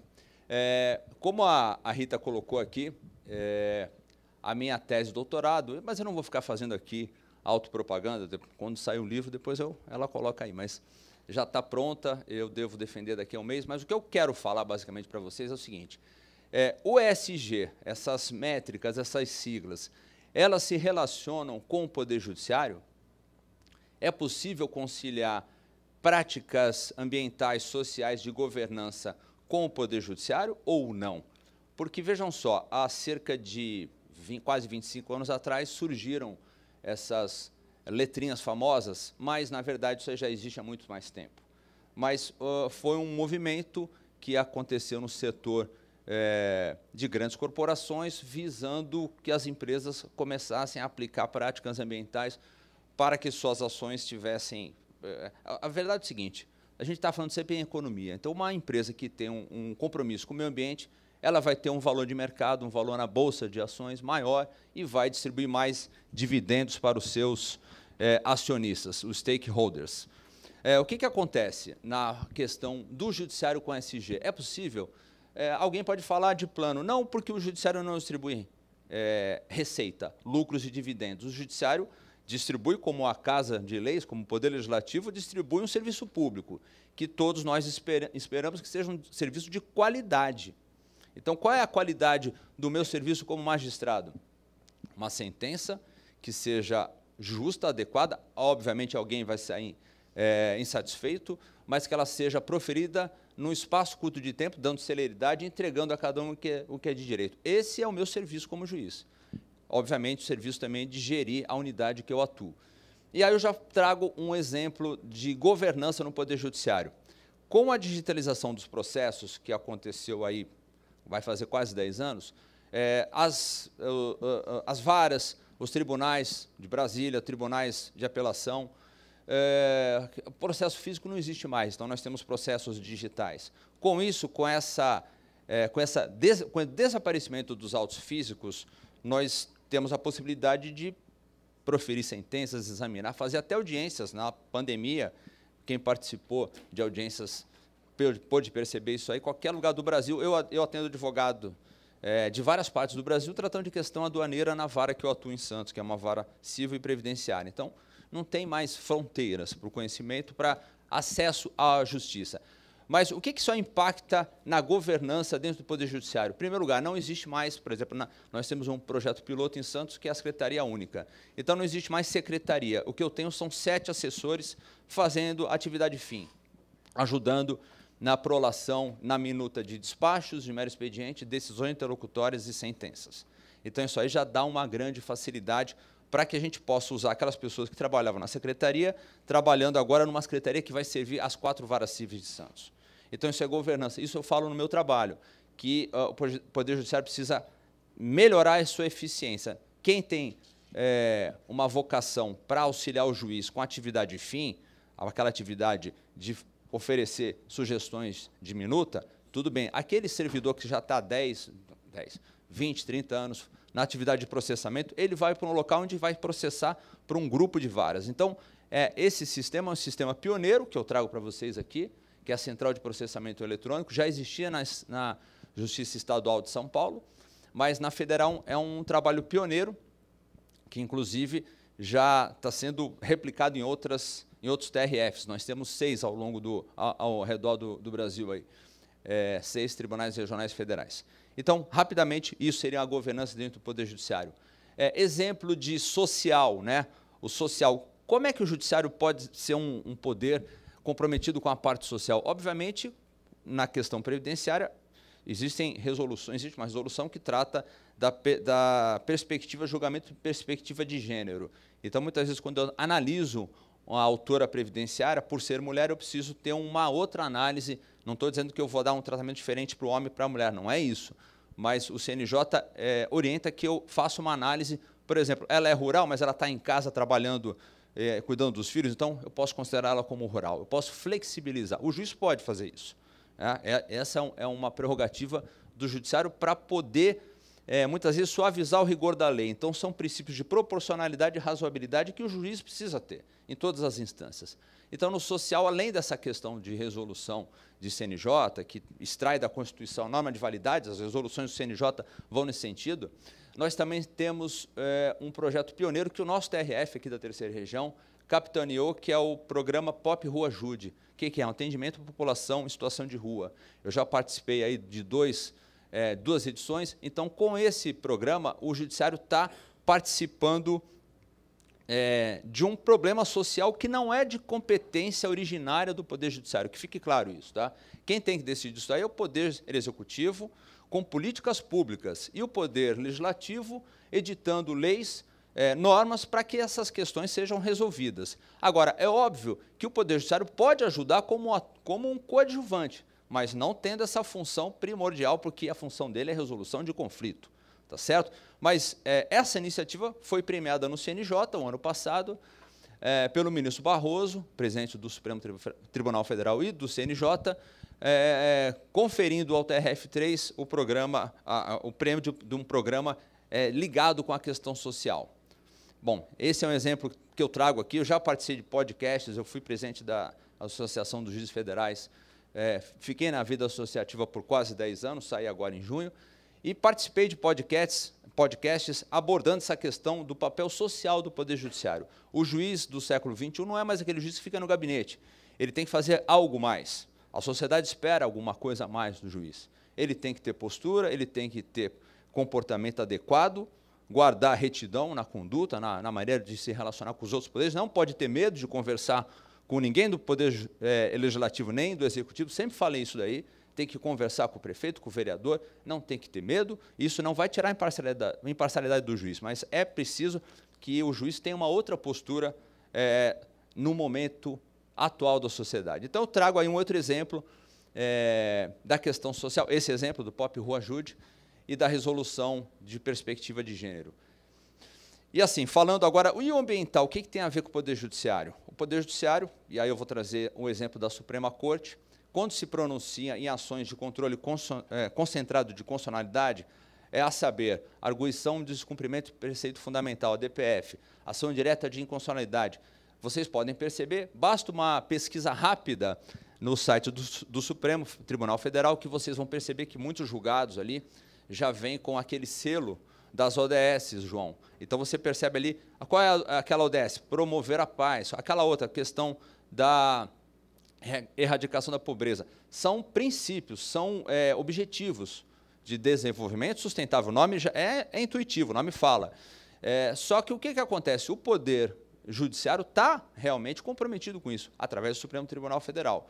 Aí vocês vão me perguntar, mas as outras instâncias colocam ODS? Eu não vi ainda tribunais fazendo isso, mas eu já vi uma experiência de uma colega minha do Rio de Janeiro que coloca na sua sentença, quando trata de matéria ambiental, e principalmente ações civis públicas ambientais, que é o veículo adequado, mas também ações populares ambientais, que eu julgo lá na, na vara que eu, que eu atuo em Santos, ACPs ambientais, ações populares ambientais, é, normalmente promovidas, né, ajuizadas pelo Ministério Público Federal, é, eu ainda não coloquei, mas eu estou pensando seriamente em começar a colocar nas sentenças a, a, a, as ODS, para mostrar isso aqui está naquele sentido ou no outro sentido. Bom, é, por que, que eu estou falando tudo isso? Só para fazer um fecho nas três siglas ambiental, é, social e governança. Para dizer para vocês o seguinte, e é aí o que eu, é o que eu defendo, é, isso é sujeito a críticas, obviamente, eu não sou o dono da verdade, mas é algo que eu defendo e é o que eu estou defendendo na, na, no meu trabalho, no texto. É, é o seguinte: qual a moral da história em você ter um judiciário que cumpre métricas ESG, que se preocupa com sustentabilidade? E sustentabilidade é nada mais é do que bem-estar. A gente está falando aqui de, de, o que é ser sustentável. É você proporcionar bem-estar para as pessoas. A inteligência artificial vai ajudar. Ela vai é, vir ao encontro do bem-estar. Ela vai facilitar o desenvolvimento das ideias que você possa colocar em prática políticas públicas, elaboração de leis e auxiliar o julgador a dirimir o conflito. Mas o que, que, vai, o que, que tem de diferente é, em o judiciário ser comprometido com práticas que outrora só eram feitas no âmbito corporativo no âmbito de uma empresa que visa distribuir lucros para os seus stakeholders, acionistas. E o que eu defendo é o seguinte: se o judiciário brasileiro, Fernanda, se o judiciário brasileiro é um judiciário forte, com segurança jurídica, um sistema estável, em que a comunidade internacional, grandes investidores, olham e digam o seguinte: eu vou investir 50 bilhões de dólares para colocar uma planta ali de uma montadora chinesa de carros elétricos. Eu vou investir para fazer uma planta para abater gado no interior do Mato Grosso do Sul. Eu vou fazer, enfim, você acaba, isso é o que eu, é o que eu penso, você acaba por instigar, incentivar que os outros países, estados, possam é, investir no Brasil, porque sabem que ali, primeiro, é um país que tem compromisso com a Agenda 2030, segundo, é um país que está comprometido com a matéria ambiental, que é a ordem do dia, é o nosso futuro, sem ar para respirar. É, é o mínimo, né? não é só ambiente, meio ambiente artificial. Sem o, o, o natural, mas o artificial, que a gente está aqui agora, que está um ambiente agradável aqui, é, cultural, do trabalho, enfim, não importa qual espécie de meio ambiente, mas sem uma qualidade de vida, a gente não tem perspectiva nenhuma, nem a nossa geração, nem as futuras gerações. É o direito intergeracional que todos nós temos ao meio ambiente. Então, o que, que eu defendo? O que, que eu estou propondo? E eu acho que é um, algo que é, tem um sentido, tem uma razão de ser. É justamente isso, porque faz com que os países invistam no Brasil e tenham a confiança que é um país sério, que não é uma Coreia do Norte, que não é um país que tem uma ditadura. E, pasmem, é, existem painéis aí da ONU que indicam que mais de 50% dos países atualmente, dos mais de 204 países, não são democracia. Por incrível que pareça, não são democracia, não tem um judiciário forte, não existe segurança jurídica. Então, o que, que eu é, defendo? Eu defendo o seguinte: é necessário que, é, é, urge que nós tenhamos essa consciência. E mais, como desdobramento natural, o Brasil tem condições efetivas de ingressar finalmente na, na, na, na OCDE, Organização para a Cooperação do Desenvolvimento Econômico, que é uma espécie de clubinho dos países ricos, cada um coloca ali um X é, regularmente, X, estou falando milhões e milhões de, de, dólares, isso é fato, isso é o que acontece, e o Brasil quer entrar, porque se o Brasil entra na OCDE, o processo é um processo que demora, demanda um certo tempo, não é coisa rápida, não é uma coisa de um ano para o outro, vai demorar um tempo, mas, por exemplo, na América do Sul, nós temos o Chile e a Colômbia, nossos vizinhos, que já estão dentro da OCDE. Então, é, com o Brasil ingressando na OCDE, e isso eu também é, tenho essa crença, penso dessa maneira, nós teríamos um desdobramento do Poder Judiciário ajudando, ajudando é, ao país. Eu trago aqui a visão do Poder Judiciário Federal, que é onde eu me encontro aí é, há quase 25 anos. Mas isso também pode ser aplicado para o Poder Legislativo, nas três esferas, para o Poder Executivo também, nas três esferas. É, alguém pode falar, mas não tem nada ainda. É, há alguma coisa de, de lege diferenda para o Poder Judiciário? Para o Poder Judiciário, de lege diferenda, poderiam ter resoluções que poderiam se tornar leis. Não encontro nada ainda, do ponto de vista estritamente legal, como destinatário, tendo como destinatário o Poder Judiciário. Mas eu trago para vocês é, uma informação que todos aqui que atuam como advogados públicos em, no poder dentro do Poder Legislativo, que no âmbito da administração pública indireta, e aqui eu falo da lei das estatais, 13 mil, se não me engano, 13.303 de 2016, empresa pública, sociedade de economia mista, praticamente, que trata lá em vários artigos, em vários artigos, que trata de, de temas ligados a meio ambiente, a sustentabilidade, a governança, a compliance, que é o cumprimento. Então, se eu não me engano, aí quem tiver o, o smartphone, quem tiver condições de acessar, é, o artigo 1 parágrafo 7 inciso, acho que é oitavo, fala justamente de sustentabilidade. Esse daí eu gravei, tem outros ali que eu confesso que eu não gravei o artigo 12 ou 18, também fala sobre isso. Ou seja, nós já temos diploma legal federal, uma lei federal, que trata é, de questões de ESG dentro do, do poder público, que a gente vai entender como a administração indireta faz parte. Quem estudou direito administrativo que sabe que faz parte não só a direta, como a indireta também. É, Para terminar, meu tempo, mais quatro minutos? Dois. Já esgotou. Esgotou? Esgotou. Desculpa, eu, eu começo a me empolgar, começo a falar aqui, eu, eu olho ali, mas parece que tá, as letras estão flutuando, os números ali, a matéria é muito bacana, muito interessante. Só para terminar aqui, o que a, a, doutora Maria Fernanda colocou aqui no início da fala dela, da participação da informação, isso é um princípio do direito ambiental. A informação, a participação social. Só que, infelizmente, pessoal, a verdade é uma só. Eu, eu gosto de trabalhar com a verdade. É, sempre. E, e, com os fatos. A gente não adianta estudar na academia e, na verdade, você chegar lá e não ver acontecer. É, eu não sei aqui em São Paulo, mas em muitas cidades a participação social, a audiência pública, para uma grande obra, a, a, vão aparecer meia dúzia de gatos pingados, infelizmente. Então as pessoas não participam. Então é, é preciso resolver isso daí. Como? Eu não sei. Isso é uma questão aí de vocês do Poder Legislativo. Tá? Mas, mas assim, se servir de consolo, dentro do Poder Judiciário também tem, é, muitas vezes, essa falta, esse desânimo, não existe essa vontade é o estado letárgico. Então tem que ter alguma coisa para estimular as pessoas a saírem do, da sua zona de conforto. Então, assim, é, obrigado, para terminar, obrigado agora, agora eu termino mesmo, obrigado pelo convite. Se deixar aqui eu fico falando, mas eu sei que vocês têm ainda o coffee break, a palestra do ministro, que já deve ter chegado, né, do TSE. Então, mais uma vez, agradeço a oportunidade de estar falando aqui no Poder Legislativo. Já até saí do púlpito, né, porque eu tenho que ficar aqui atrás, mas eu até já abusei aqui, já saí do meu, do meu lugarzinho.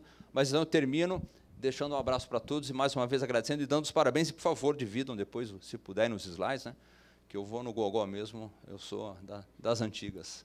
Obrigado, pessoal, um abraço.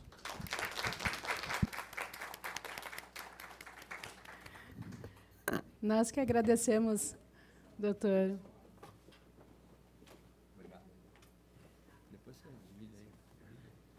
a, a sua palestra, a sua explanação e, e trazer para nós exemplos do que está acontecendo no Poder Judiciário.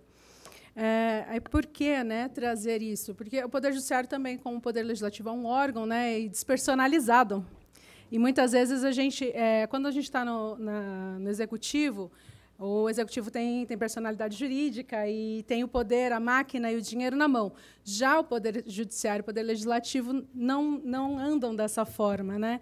E muitas vezes é, nós ficamos é, pensando e, e, muitas vezes amarrados, pensando como que, que eu posso fazer, né? E quando nós vemos que as, essas práticas também estão sendo utilizadas no poder judiciário, também porque a gente também tem medo, eu vou colocar isso, eu vou implantar isso, como o professor, é, como o João Mário colocou aqui, né? Doutor João Mário colocou no início.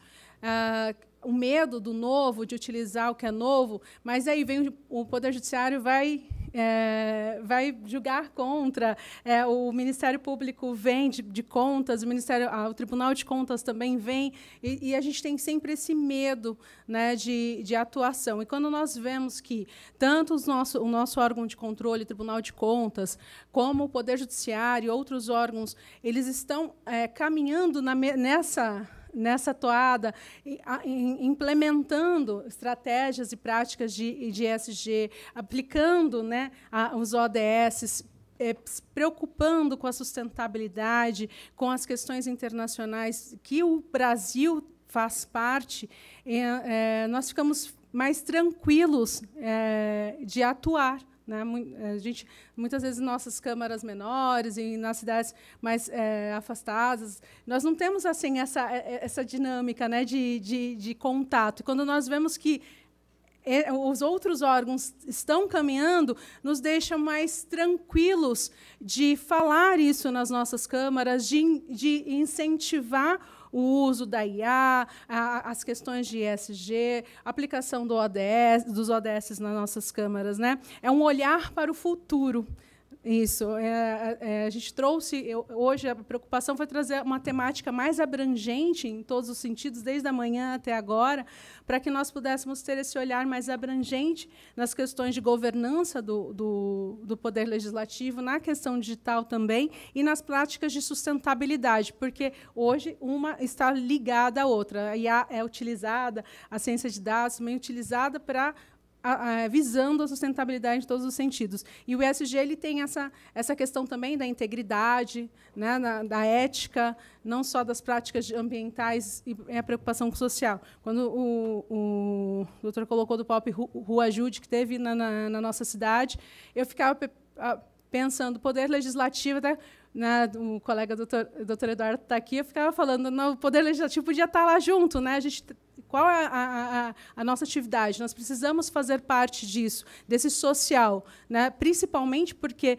o legislativo é a casa do povo, como eu sempre digo. Né? Eu acho que está carimbada essa minha, a minha fala, sempre de dizer que o Poder Legislativo é a casa do povo. Então, é, espero que eu, hoje o dia tenha sido proveitoso, a, a palestra, as palestras tenham sido bem proveitosas. Né? Para a gente, é, para mim, trouxe, trouxe é, muitas novidades, assim, a gente comentou aqui. Eu já anotei um monte de coisas aqui para atuar. Quero agradecer o, o Dr. João Mário, que veio aqui, é, nos, no, nos brindou com a, com a palestra inicial, a doutora Maria Fernanda, né, que veio com. Eu anotei um monte de ideias aqui, doutora E o doutor, o doutor Alexandre que nos trouxe a visão também e práticas e modelos e sugestões que estão acontecendo no Poder Judiciário. E, finalmente, assim, a doutora Marcelene veio aqui me entregar, né? É só para fazer mais uma, mais uma vez falar a, a Proleges é, lançou o, o, livro Advocacia Pública Legislativa, Desafios e Perspectivas, com a organização do Dr. Nelson Flávio Brito Bandeira, Dr. Raul Miguel Oliveira Consolete e o Caio Ferrari de Castro Melo. Tem vários artigos sobre a atividade do, do, do, procurador legislativo nas câmaras. É, já, já está com, com com a, a submissão aberta para quem quiser submeter algum artigo, é, contribuir com a próxima obra para o volume 2, esse é o volume 1, um, e nós vamos sortear esse, esse, esse, essa obra. Agora, de manhã, o pessoal tem reclamado da data de aniversário, né? Não me passaram, não me passaram nenhuma, nenhum, eu aí me colocar, eu vou, vou pedir para a doutora Fernanda, é, vou pedir para a Joana, né, decidir é, é, a forma que a gente vai sortear. Que a gente não tem numeração aqui, não tem a, a, a letra de manhã, ou a data de aniversário, aqui quem faz o aniversário mais próximo, mas a gente já está carimbado, né? já foi. Alguém já ganhou de manhã. Essa não dá. Capital do Azerbaijão. Capital do Azerbaijão que seja uma mulher, então, né? Talvez a mais nova, presente, para dar um incentivo. Alguém vai. É assim, quem tem menos de 20 aqui, mulher menos de 20, entre 20 e 25. 20 e 25? Pronto. Aê! Parabéns. Boa sorte. Parabéns, obrigada. A senhora, te, senhora mostrou o TRG, doutora? Oh. Quem foi que pediu? É, eu, quero, eu, peço desculpas que eu sou assim, mais, mais menos, menos protocolar, né? Eu gosto de, de deixar as coisas menos protocolares, mais, mais é, menos formal. Obrigada, doutora.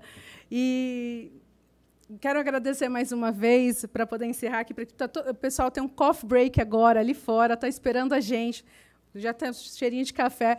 A próxima, é, para a gente esperar um pouquinho, se preparar aqui, porque nós vamos receber o ministro do, do Tribunal Superior Eleitoral, André Ramos Tavares, que vem é, nos brindar com a palestra o poder, ai, sobre o poder público na área digital. É, conto com a presença de todos e mais uma vez quero agradecer a palestra da, da doutora Maria Fernanda, do doutor Alexandre Saliba, do doutor João Mário e todos que estão aqui até agora não dormiram depois do almoço, ficaram firmes. Agradecer quem está nos acompanhando pelas redes sociais, pela internet, este evento. É, espero com, contar com vocês daqui a pouquinho na palestra. Muito obrigada, gente. Boa tarde.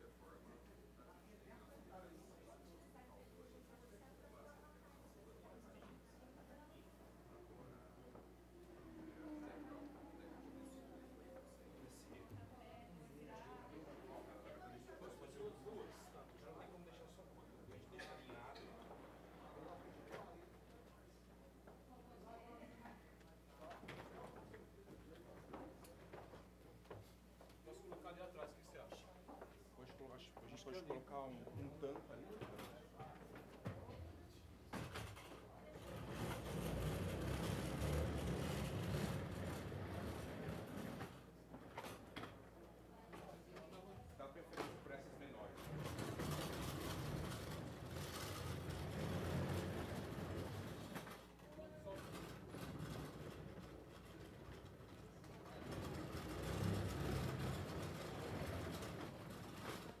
Olha, essas aqui são as principais. Vamos ver aqui como é que fechamos essa no canto. Essa coloca junto aí. O que você acha? Ah, sim. Ah, beleza, igual Os três aqui, né? Ó, Deixa só as vezes. Uma, duas, três, quatro, cinco. Perfeito. Equilibra na mesa pra cá. três, quatro, cinco.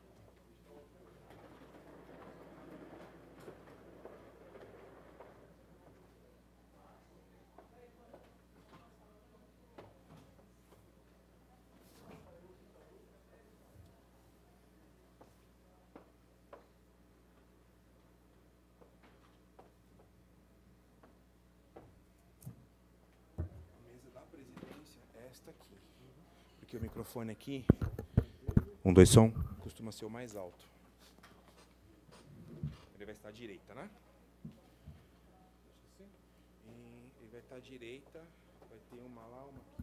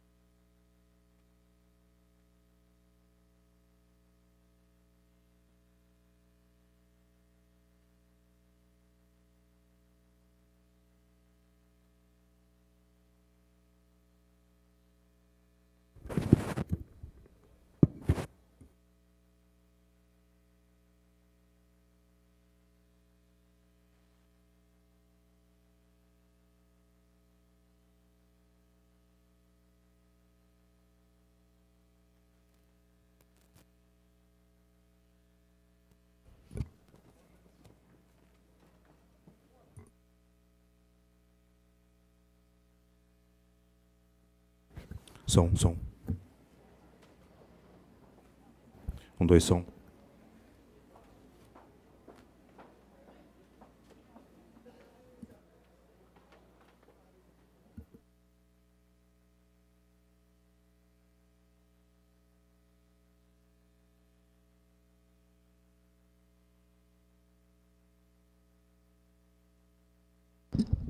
Um, dois, dois, som, som, um, dois.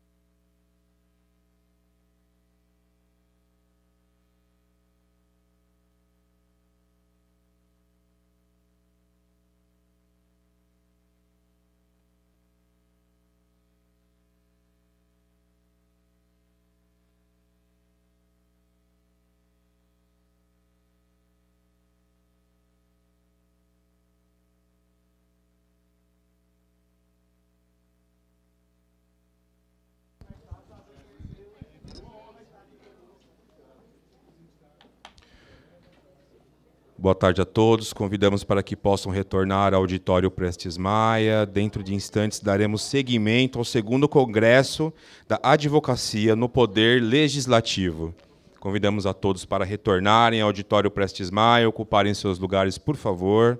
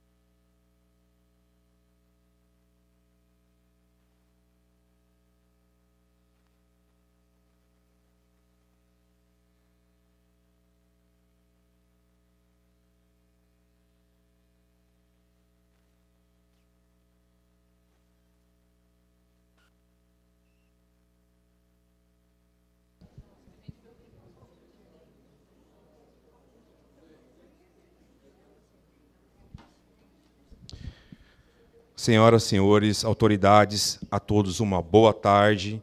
Sejam, estejam, sejam bem-vindos à Câmara Municipal de São Paulo. Agradecemos a presença e, em seguida, teremos a palestra de encerramento do segundo Congresso da Advocacia no Poder Legislativo, Governança Digital no Poder Legislativo. Informamos também que a palestra será transmitida pela Rede Câmara nas redes sociais oficiais do Legislativo paulistano, auditórios online, opção Auditório Prestes Maia, e também retransmitida pela OAB Cultural. Mas antes da palestra, chamamos para compor a mesa o Procurador-Geral do Legislativo, Dr. Paulo Augusto Bacarim.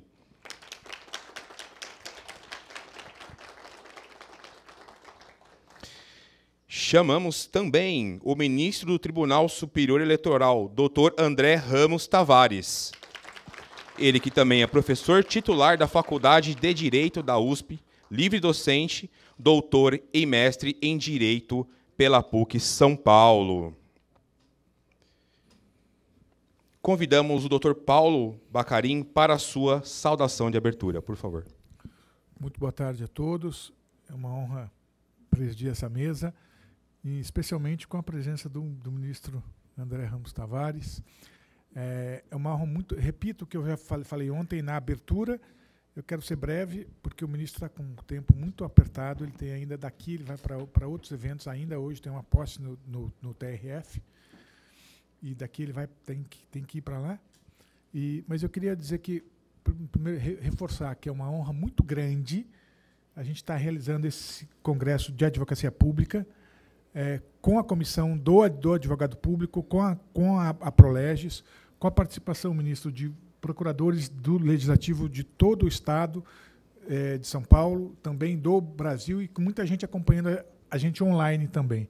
Então, com esses agradecimentos, em especial, renovo o agradecimento ao seu comparecimento na Câmara.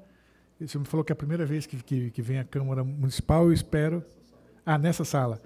Eu espero que seja apenas a primeira. Eu gostaria, então, brevemente, rapidamente, de lhe passar a palavra para não perdermos o tempo. Obrigado.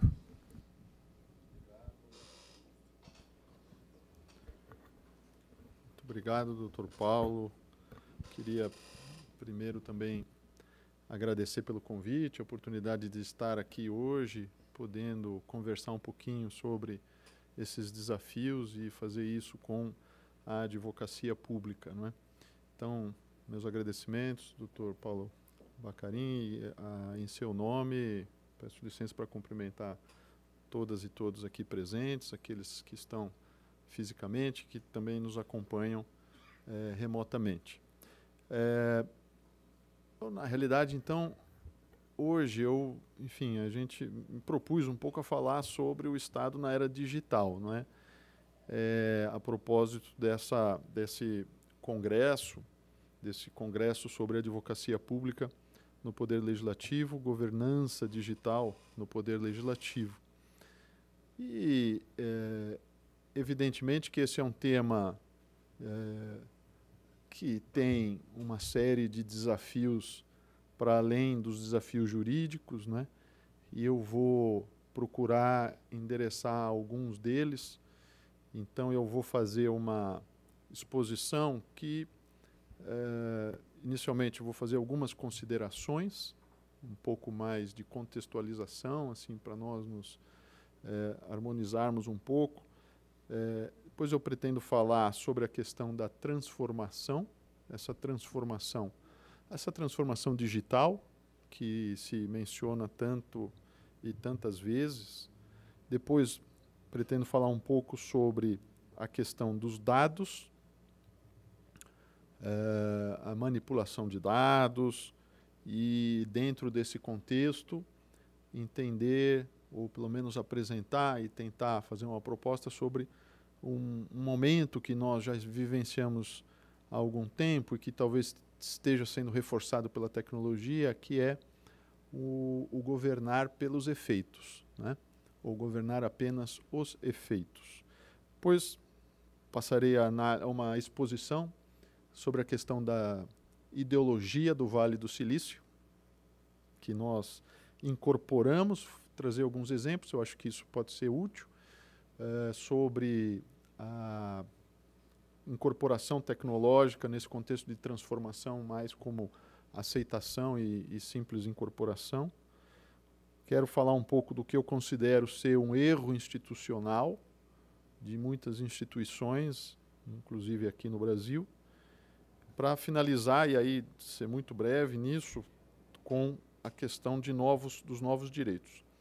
É, eu procurei para hoje é, desenvolver aqui um texto, porque eu sempre eu tenho sempre, eu sempre procuro enfim, procuro fazer alguns textos quando eu vou fazer uma apresentação, porque isso é, permite que eu pelo menos fale sobre tudo o que eu gostaria de falar, porque eu né, tenho aqui pensei antes com calma, fiz o meu o meu script, etc. Né? E também impede que eu fale muito mais do que eu deveria falar, né? porque isso também não é bom nem para mim, nem para os senhores e para as senhoras. Então, eu, é, nesse contexto, eu vou começar nessa primeira parte, assim, de uma exposição mais geral, né, dizendo, é, ou pelo menos relembrando, né, que isso acho que a gente precisa relembrar sempre, não custa sempre falar, não é? O maior desafio hoje qual é? O maior desafio hoje é ainda o mesmo desafio de sempre, o cuidar do ser humano. Esse é o desafio, cuidar do ser humano. Nós não podemos ter dúvidas sobre qual é o nosso grande desafio. Né?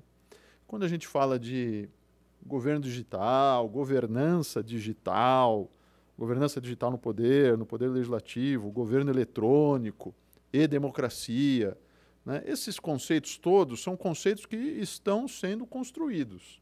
Estão sendo construídos. Né? Eu não vim aqui para apresentar nenhuma, nenhuma definição definitiva, nenhum conceito que eu pretendesse impor a ninguém. O que me parece é que eles precisam ser construídos necessariamente visando aprimorar os serviços públicos, visando melhor atender às necessidades específicas de cada contexto social.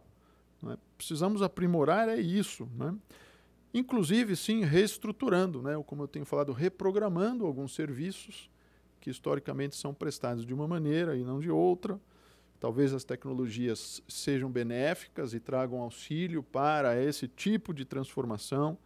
Nós precisamos, dentro ainda desse contexto do que é, do que significa uma, go uma governança digital, nós precisamos entender que essa governança digital também precisa ter como finalidade cuidar, sim, da informação. Eu nem estou falando aqui de informação eleitoral. Né? Poderia, todo mundo poderia achar que já estou falando da questão das fake news. Não.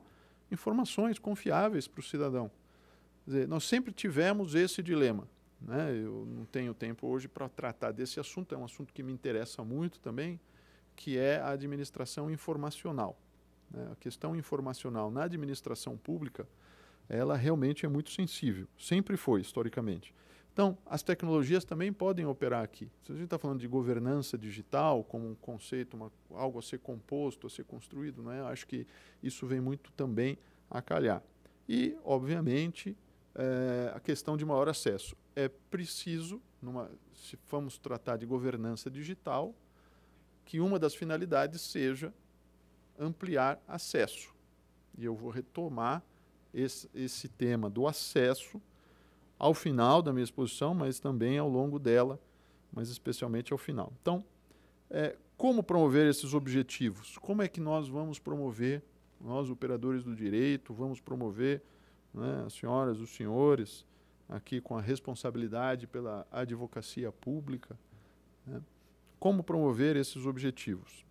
Bom, primeiro eu observaria que a boa governança digital, a boa governança digital e também o bom governo e o bom governo digital não é não é a incorporação das novas tecnologias. Ela não pode ser a incorporação das novas tecnologias. Pode haver incorporação de novas tecnologias, mas uma coisa não é necessariamente equivalente à outra. E esse é o ponto que eu gostaria de explorar um pouco melhor.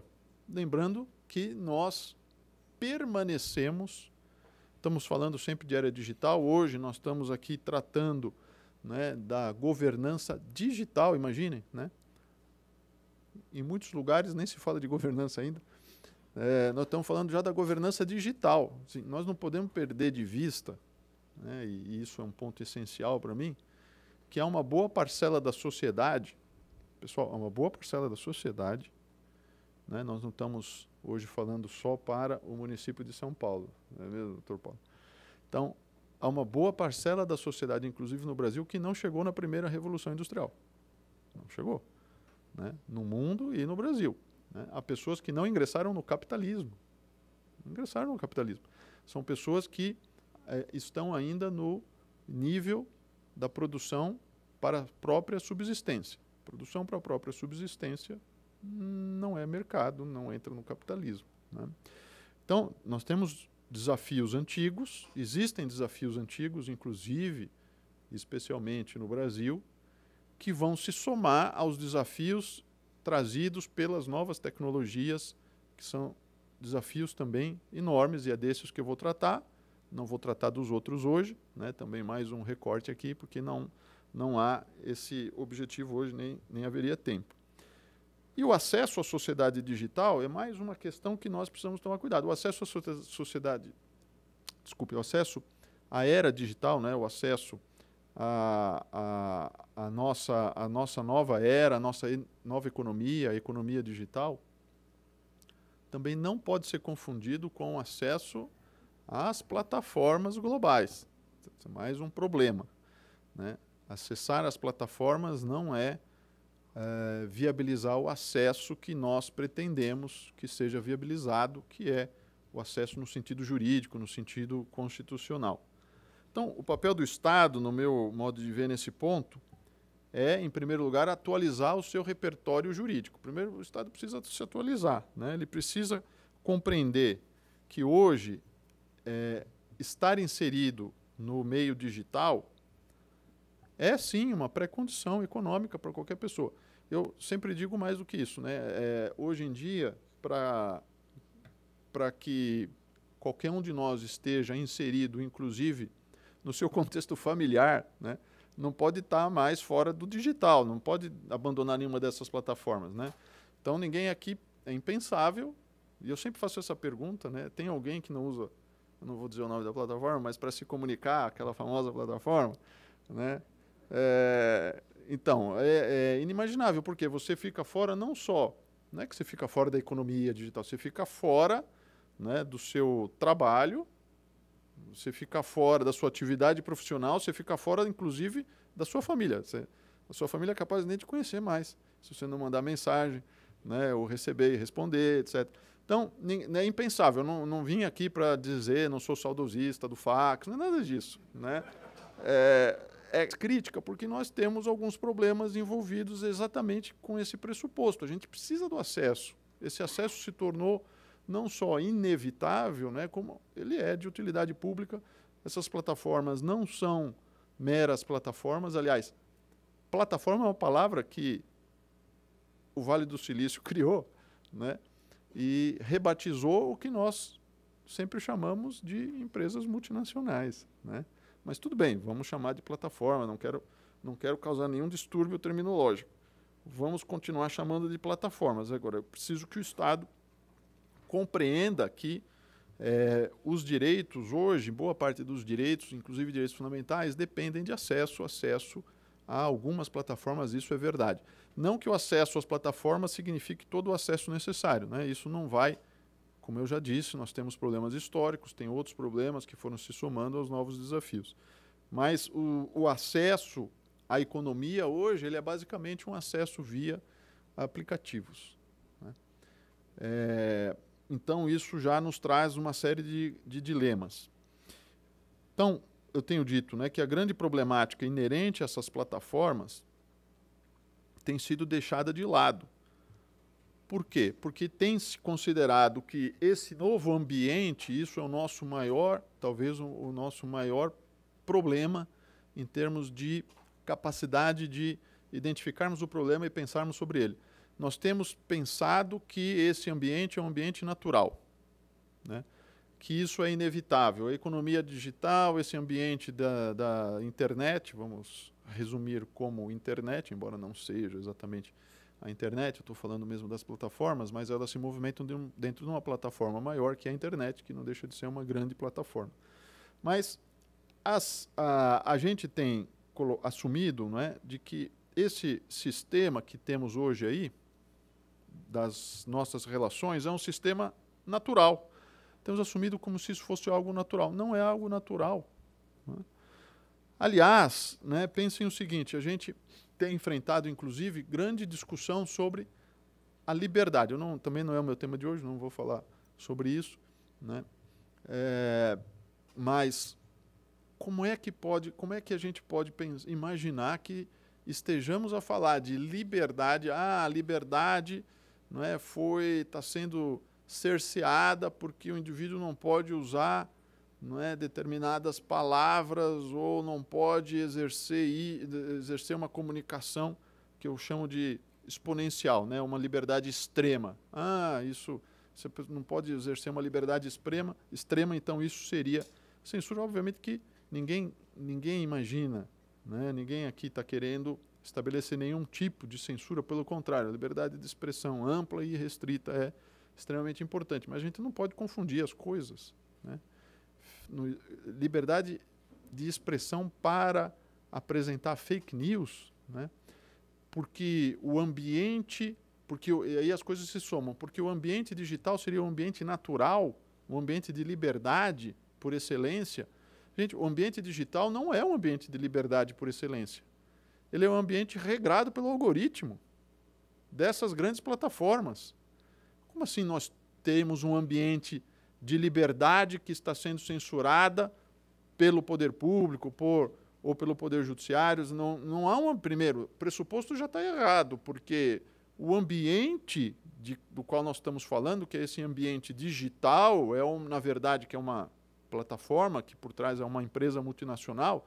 Se tem alguma coisa que não é livre, é esse ambiente, que é regulado na minúcia pelas regras privadas das empresas de plataformas digitais, pelos seus algoritmos, pelos seus controladores, pelos, por seres humanos contratados é? e pelos objetivos e, é, e, e, e objetivos negociais né, e ideologias dessas grandes plataformas. Então, assim, primeiro, o pressuposto já está errado. O primeiro pressuposto. O segundo pressuposto também está errado. Né? Liberdade de expressão não se confunde com possibilidade de expandir fake news à velocidade da luz. Isso nunca existiu.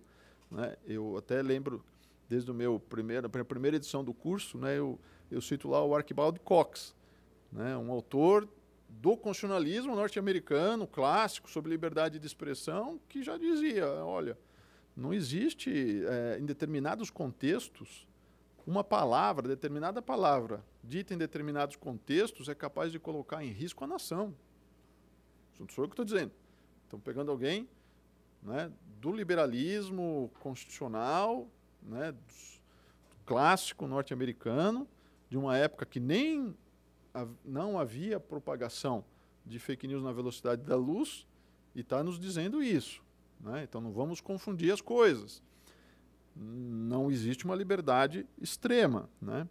Então é preciso não tomar esse ambiente por, ser, por um ambiente natural, um ambiente decorrente da natureza. Né? E uh, isso eu digo considerando, mesmo que num Estado com vamos dizer assim, avanços digitais, né? É, que pretenda prestar realmente serviços no âmbito digital, uh, ainda assim é preciso tomar o, pelo menos dois cuidados, não é? Porque primeiro é, é comum que se ofereça na rede digital do Estado determinados serviços e determinadas prestações exclusivamente, exclusivamente pela via digital. Né? Isso também é um equívoco. A gente já sabe que nem todos estão inseridos 100% né, no, na vida digital. E o segundo equívoco é o Estado, como eu estou dizendo, se inserir nessas redes, como geralmente se insere, com a tendência de aceitar os pressupostos das grandes plataformas digitais para atuar digitalmente. Então, se nós temos que aceitar os pressupostos das grandes empresas, das plataformas que atuam em escala planetária, né? Enfim, hoje é um dia até especial, vamos dizer assim, para falar desse assunto. É, se nós fôssemos aceitar os pressupostos dessas grandes empresas, o pressuposto dessa, dessa grande empresa que hoje está né, na, na, na ordem do dia é não cumpra o direito em vigor do país. Não vou cumprir o direito em vigor, não vou cumprir decisão judicial, não, não me interessa. Né? Então, evidentemente que nós não podemos aceitar esse tipo de pressuposto. O Estado precisa impor, não é? E se impor. Na, eu vou falar então, passar a falar da questão da transformação. Nessa obra que é muito interessante, chama What Technology Wants, o que a tecnologia quer, do Kevin Kelly, ele descreve a teoria do jogo infinito. A teoria do jogo infinito. Que jogo infinito? O jogo infinito da tecnologia. Qual é o jogo infinito da tecnologia? A expansão sem limites. Segundo a teoria do jogo infinito, uma boa opção é você expandir e criar novas possibilidades. A boa possibilidade é aquela que vai gerar mais possibilidades. Né? Esse é realmente o jogo que a tecnologia faz. Há sempre algo novo, há sempre uma nova fronteira tecnológica a ser superada, há sempre uma disrupção a ser perseguida. E disrupção é palavra de ordem. Na teoria do jogo infinito da tecnologia, reverbera nos desafios da regulação das novas tecnologias. Evidente. Né? As novas tecnologias diuturnamente criam novos mecanismos, alteram seus algoritmos, atualizam as suas regras internas e buscam a todo momento e a cada momento se apresentar como inovadoras e renovadas, numa dinâmica de um jogo infinito de possibilidades.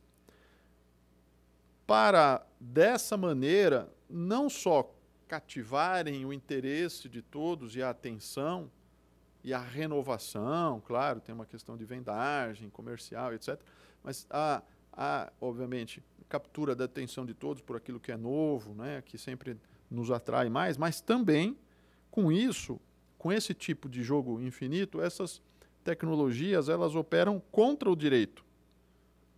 Porque elas são capazes de sempre apresentar o direito como algo defasado. Sempre. E com isso, elas tentam, procuram, sim, conscientemente, sim, mas não abertamente nem transparentemente, mas procuram, sim, legitimar uma ação delas à margem do direito. À margem das instituições, com recursos tecnológicos seus, que são de desenhados por elas próprias e que operam à distância. Operam à distância fisicamente, que muitas delas, né, inclusive no caso de hoje, né, querem operar sem ter representantes no país e operam à distância do direito. É isso que elas querem também, do direito em vigor nos países. Muitos estados, que eu tenho chamado de estados periféricos, às vezes parcialmente periféricos, às vezes mais intensamente, né, ignoram quase que por completo a transformação, esse tipo de transformação que vem propiciada pelas novas tecnologias, pelas, pela inteligência artificial. Né, esses países que ignoram essas situa essa situação, esse contexto, são países que fazem aquilo que a gente chama de uso uso subdesenvolvido, desculpe, uso subdesenvolvido das tecnologias desenvolvidas e avançadas. Esse tipo de uso é um uso que retroalimenta condições de atraso econômico, reforça barreiras ao pleno desenvolvimento do país. Pleno desenvolvimento do país os benefícios sociais produzidos pelas inovações nos países que detêm a titularidade das tecnologias, os benefícios que são produzidos lá pelas inovações tecnológicas, podem ser e são efetivamente absolutamente diversos dos efeitos que são produzidos nos países que são só consumidores das novas tecnologias e não são sede dessas grandes plataformas. Por isso, um dos elementos cruciais, embora não seja o único, é o domínio estatal sobre os dados que é essencial para a soberania, como bem sabe a doutora Gabriela aqui, defendeu o doutorado sobre isso, essencial ao desenvolvimento do mercado interno. Mas na atual era digital, nós temos uma linha muito tênue entre benefícios e riscos. Não é? Quando estamos falando aqui do uso de novas tecnologias a partir de dados massivos da população, e aqui já entrando na questão dos dados, é?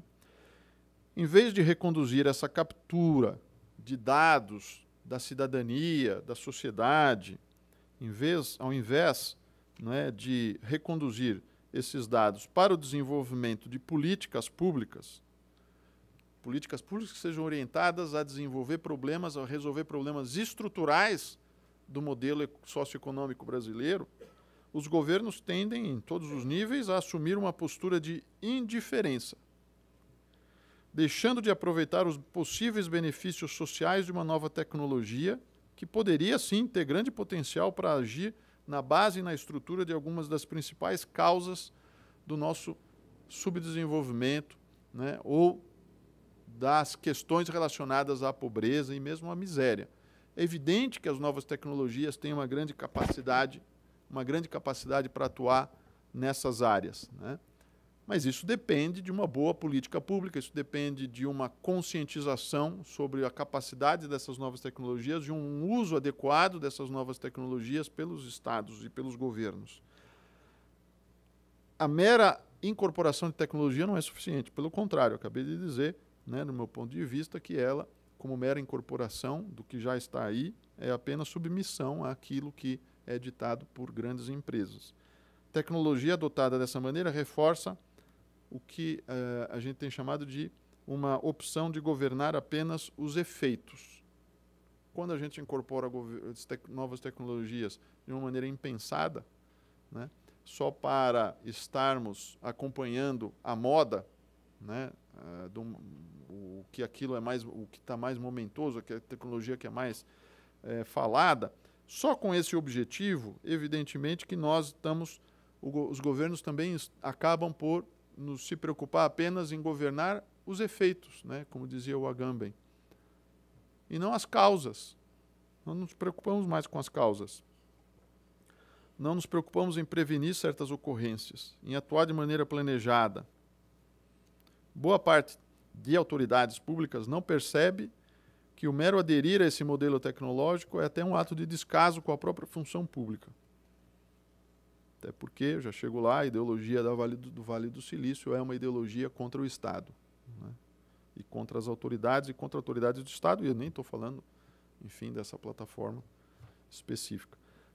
A provocação, então, está aí no meu modo de ver. Com uma imersão nos dados privados gerais e não anonimizados, porque, claro, para oferecer os melhores serviços e os serviços aos quais o Estado tem obrigação, os quais o Estado tem obrigação de oferecer, é preciso identificar né, o cidadão. O que se faz, na verdade, é apenas é, submissão às pautas das grandes plataformas digitais ou de uma solução tecnológica qualquer do momento. Claro que o acesso, ampliação de serviços públicos, por exemplo, a segurança com monitoramento, com recolhimento de dados faciais, até mesmo a melhoria do serviço público de transporte não é, de passageiros. É claro que enfim, ampliação de certos serviços, manejo de dados, isso tudo é compõe um, um, uma, uma equação muito complexa. Né? Não, não podemos, claro, de cara dizer que necessariamente vai ser negativo. Não estou querendo dizer isso, né? pelo contrário. É necessário analisar caso a caso.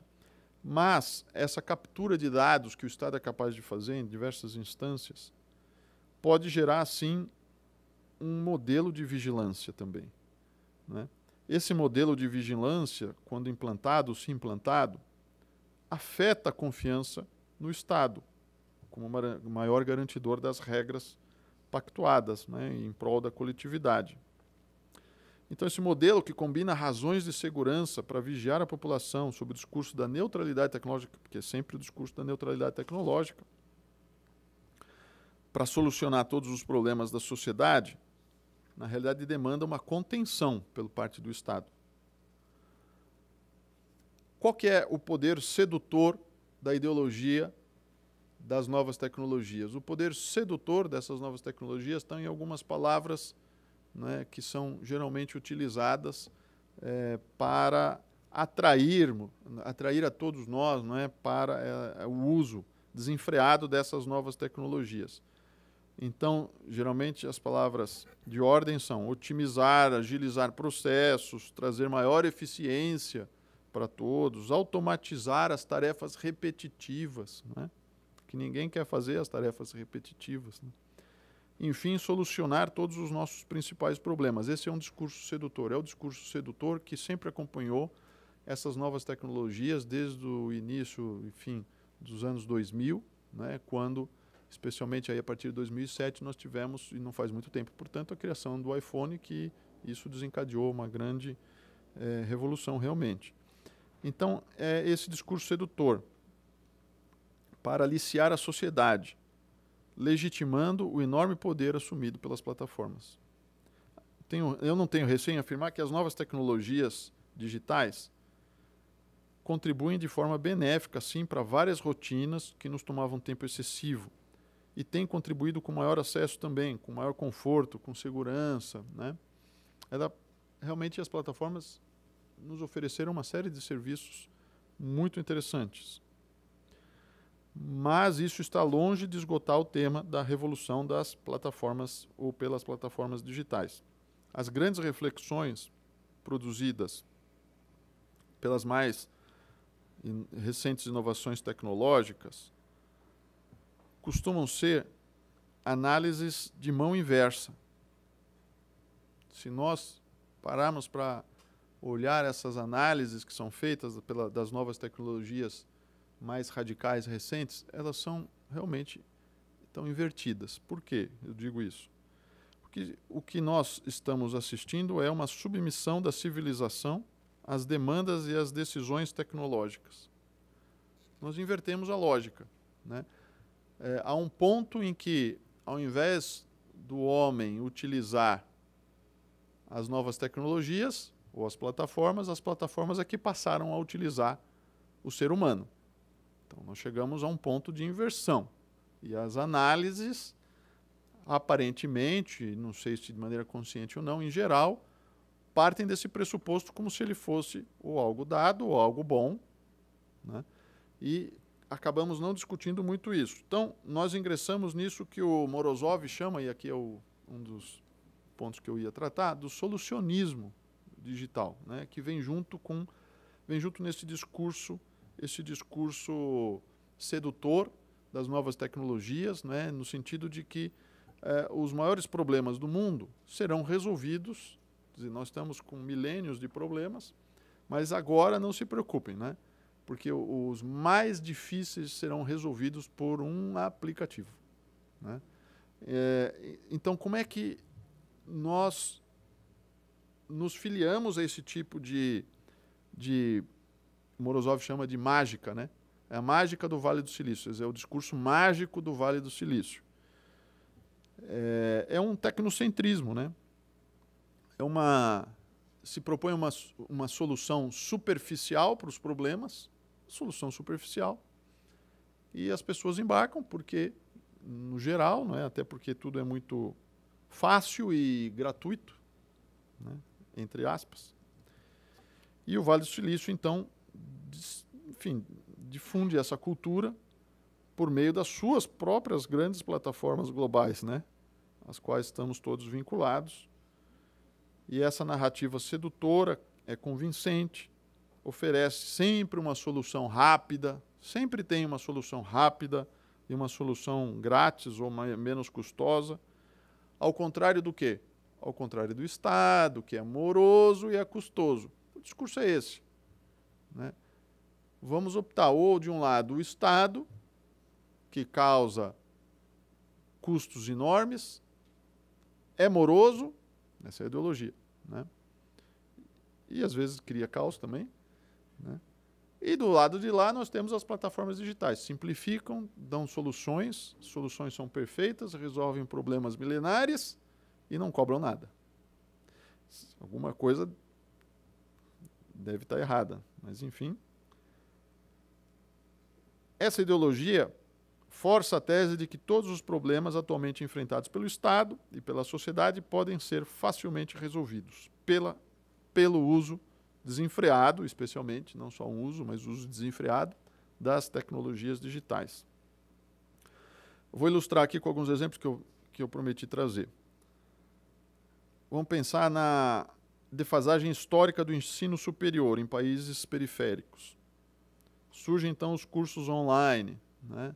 os cursos online abertos, massivos, descontrolados, oferecidos de maneira caótica, sem maior garantia. Né? Tudo em detrimento de repensar certas estruturas estatais que podem ser realmente arcaicas, que estão repetindo fórmulas equivocadas, com baixo investimento no conhecimento, um investimento desvirtuado. Então, esse discurso ideológico, ele encontra um terreno fértil né, nessas, nessas dificuldades históricas que nós enfrentamos, realmente. E consegue, então, esse discurso consegue disseminar as suas propostas, que são propostas, se vocês olharem de perto, de aniquilação do Estado, aniquilação da autoridade. Outro tema que a gente pode lembrar aqui é, por exemplo, a questão do envelhecimento da população né, e, os, e os índices de piora na saúde em geral é, que, tem, que aumentam. Né? Como é que nós vamos pensar uma política de longo prazo que contribua para um envelhecimento saudável? Bom, tecnocentrismo tem uma solução muito simples aqui. Está fácil. Né? Vamos aumentar o uso de um aplicativo de monitoramento, por exemplo, o Fitbit. Né? Com isso a gente vai uma solução simples, direta, tecnodependente, claro, mas também uma solução que ignora todas as causas do problema, as causas que precisam ser enfrentadas por uma política pública séria. É? Um outro exemplo, né, também muito simbólico, que demonstra bem essa dimensão política, como pode ser reinventada e deturpada na era digital. A questão do investimento na reestruturação dos modais de transporte público urbano. Então, apesar das vantagens sociais a longo prazo, é sempre muito custoso para um governante que possui um mandato de quatro anos tomar medidas de grande envergadura que vão demandar um tempo de construção e efetivação muito maior do que o tempo não é, do governo. Então, em vez disso, surge como mais vantajoso, inclusive mais vantajoso agora do ponto de vista político, não é? mas também economicamente, encorajar as pessoas a fazerem o quê?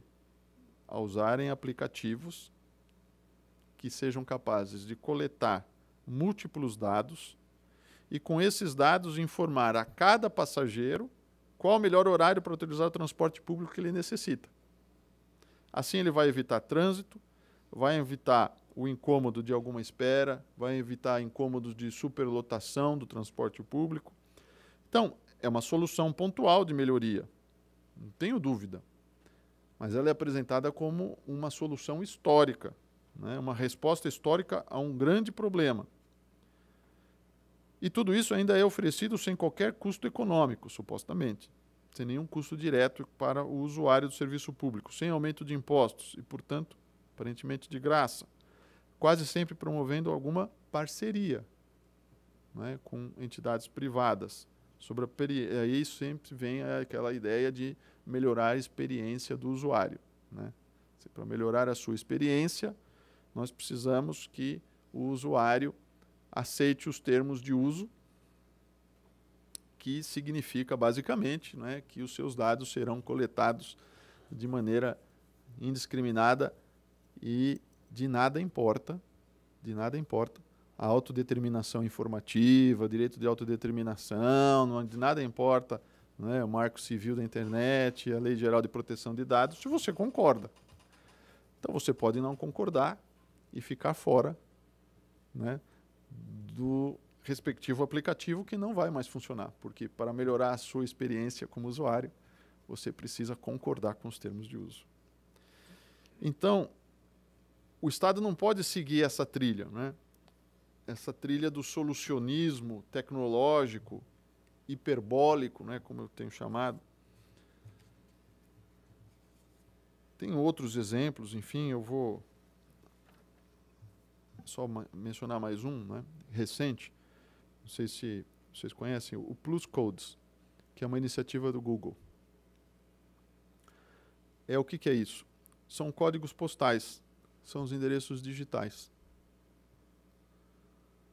para as populações em áreas urbanas que não têm realmente resposta satisfatória por parte do Estado. Por exemplo, Paraisópolis. Um bairro extremamente carente aqui da Zona Sul. Né? O que, que faz o Plus Codes? Até, e aqui eu estou citando o próprio Google agora. A tecnologia converte latitude e longitude em códigos curtos, semelhantes a códigos postais, que podem ser lidos por equipamentos com GPS para localizar os endereços digitais com precisão. Cada local mapeado pelo Plus Code recebe então um código único e uma plaquinha, claro, para identificar, é, para facilitar essa identificação do endereço. Né? Onde não chega o Estado, chegou uma plataforma digital com uma solução simples, sem custo. Sem custo, entre aspas. É, então, qual que é o erro institucional, né? sem pretender, é claro, ignorar todos os benefícios, como esse último que eu mencionei, benefícios sociais que muitas iniciativas tecnológicas oferecem para uma, so uma sociedade, uma população carente, para o dia a dia dessa população sofrida, a gente precisa observar que essas soluções têm em comum uma característica importante elas eximem os responsáveis oficiais. Quem são os agentes públicos, as autoridades públicas? Elas estão eximindo os, os responsáveis maiores de pensar de forma coletiva e de maneira vertical os problemas reais da sociedade. Há uma espécie de delegação não autorizada de poderes porque o Estado ausente é substituído pela empresa privada que coleta dados. É uma empresa coletadora de dados. Todas elas são. Cujos objetivos e intensidade de uma função social dessas empresas, os objetivos dessas empresas, em termos de função social, variam conforme a sua planilha orçamentária, os seus objetivos negociais. Então, nesse estado de coisas, a própria ideia de direito de Estado teria de ser reprogramada para ser algo residual. Né? Vai emergir apenas na remota impossibilidade da tecnologia lidar com algum problema ou conflito real. É para isso que nós estamos caminhando. Como diz o Morozov, a pergunta que é retórica e é dele, por que nos dar ao trabalho de ter um Estado se o Vale do Silício pode magicamente prover sozinho os serviços básicos desde a educação até a saúde? Essa proposta é a proposta que é efetivamente disseminada pelo Vale do Silício. E vários autores dizem isso. Né? Franklin Foer é um autor que eu gosto muito também. E isso está influenciando a forma de agir, inclusive das autoridades. Esse entusiasmo com as soluções tecnológicas imediatistas não parece ser o caminho que melhor compreenda a trajetória e a dimensão dos problemas de países de economia periférica. Essa proposta de adesão ao tecnológico promove um reducionismo incentivado pela tese da supremacia tecnológica sobre todas as soluções, subalterniza o papel do Estado e do direito como instrumentos de solução social e, no caso nosso, né, periferia do capitalismo, reforça os nossos laços de subalternização quanto aos países que são fontes tecnológicas. Nesse ponto, a crítica precisa se concentrar no pressuposto de que países com altos índices de desigualdade, como é o nosso caso, né, o país mais desigual, mais desigual que o mais desigual país da África, não devem relativizar os mandamentos constitucionais. Esse é o nosso ponto. Nós não devemos relativizar os instrumentos jurídicos aptos para delimitar os fenômenos sociais, para responsabilizar condutas, inclusive dessas grandes operadoras, dessas grandes plataformas. Tampouco devem substituir o planejamento adequado e os investimentos com resultados de longo prazo por aplicações digitais variadas, que têm efeitos imediatos, mas que são superficiais, retiram da sociedade o seu poder e capacidade de decisão. Retiram de, de, da sociedade a busca pelas causas remotas dos problemas que a sociedade enfrenta hoje, requerem fraquíssima ou nula regulamentação do seu, do seu poder e, claro, apregou uma não responsabilização pelas suas ações e pelas consequências dos seus atos. Será que é esse o cenário que nós desejamos? Por mais que as plataformas nos ofereçam serviços que são inteligentes e serviços que nós, dos quais nós hoje somos dependentes? Encontrar todas as soluções de problemas históricos nas tecnologias é, portanto, no meu modo de ver, uma postura altamente inadequada. O solucionismo tecnológico é uma resposta padronizada, ela é uma resposta mundial, ela não ocorre aqui só no Brasil. E, como resposta padronizada, ela enfrenta problemas que são distintos e oferece, oferece soluções idênticas. É? Como podem ser soluções reais? Ela, mais do que isso, ela procura substituir a decisão política, que, que é a solução das é a decisão das instâncias que foram democraticamente eleitas para discutir e decidir. E que são as instâncias que estão sujeitas aos mecanismos de controle e de transparência.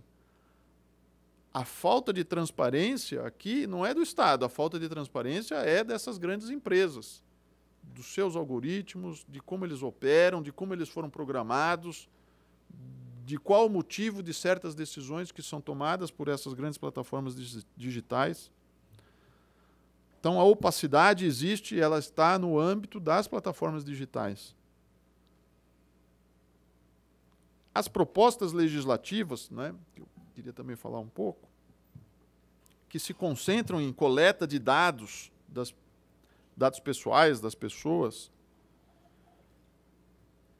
e dispensam a si mesmas de maiores esclarecimentos à sociedade ou às próprias autoridades públicas, de maiores detalhamentos, se dispensam né, de limitações, são exatamente os projetos que se alinham fortemente a esse modelo de pensar, que é o modelo de subalternização da civilização, né, o modelo da civilização plataformizada, como eu chamo. Desprezam as normas jurídicas em vigor, os padrões éticos mínimos que devem ser observados nas relações entre o poder público e o cidadão. Trata-se, portanto, de um bloqueio, ou melhor, de negação, uma negação de que possa haver relevância em pensar o direito impactando a tecnologia. Isso se, parece que se tornou irrelevante. Sim, ninguém nem se pergunta, será que o direito pode impactar a tecnologia? O que a gente pergunta é qual é o impacto da tecnologia no direito. Né? Tem mais ninguém pensando no, no, no caminho oposto que era o que se imaginava até bem pouco tempo, aliás. É como se se assumisse um pressuposto universal implícito, no sentido de que impactos fluem em direção única, da tecnologia para o direito. E os dados se tornaram esse fetiche, não é? Essa é uma postura que contrasta, por exemplo, de maneira forte, não é, com a nossa Constituição de 1988. Essa é uma Constituição que eu tenho sempre dito, não é, que é uma Constituição científica. E, e nós temos é, confundido um pouco né, essa fabulação extremada da tecnologia, que é a científica, com as origens tecnológicas. Né? O desenvolvimento da tecnologia é científico, sem dúvida alguma. Mas o que nós fazemos depois com a tecnologia, toda essa fabulação, essas coisas artificiosas de que é a solução do universo, isso tudo não tem nada de científico, pelo contrário, não é? são soluções que são, não são a verdade não são nem não são apresentadas, elas não são impostas por esses por essas plataformas e nós fazemos uso, né? E é preciso não confundir essas coisas, não é? Uma coisa é a ciência, outra coisa é o uso que temos feito das aplicações da ciência. E para finalizar, um dos resgates que nós precisamos promover, no meu modo de ver, em termos de direitos, é, começarmos a falar um pouco sobre o nosso direito a não sermos constantemente interrompidos por uma ameaça de disrupção que ninguém sabe o que vai significar na prática, quem será alcançado e em que extensão seremos alcançados. É? É preciso, portanto, que o Estado, a sociedade organizada, reassuma o controle sobre o planejamento do seu futuro. Hoje, para ter planejamento de futuro, é preciso ter planejamento tecnológico. E é preciso ter controle, controle, é preciso ter capacidade de administrar a tecnologia e o futuro que necessariamente passa pela tecnologia. Então, eu creio, para não me estender muito mais, não é? E, e, e, eu tenho falado de diversos outros direitos, né? inclusive já falei um pouco dos direitos de acesso, dos novos direitos de acesso, né? é, eu ficaria nesse direito que é o direito de nós reassumirmos a possibilidade de termos o planejamento de futuro, né? o que passa, portanto, pela capacidade tecnológica do Estado né, de todos que compõem o Estado. O Estado é um conjunto de seres humanos que precisam estar capacitados para esse grande desafio. É isso. Obrigado, pessoal, pela atenção.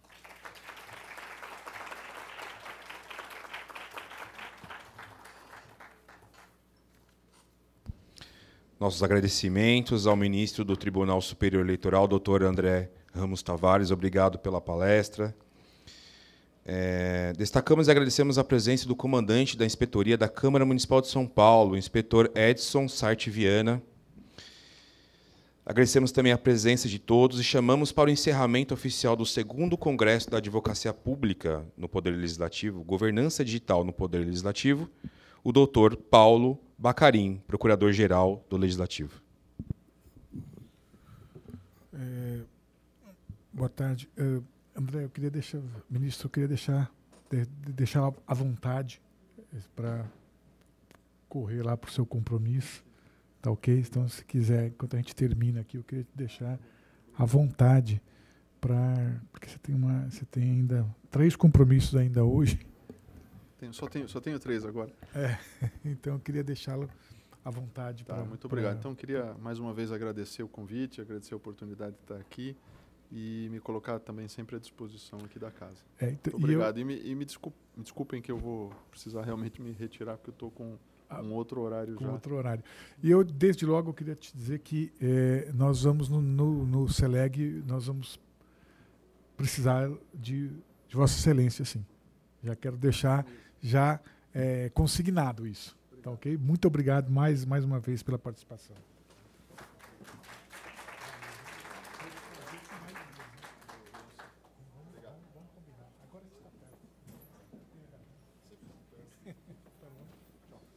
Bom, gente, eu só queria dizer umas palavras finais para a gente encerrar.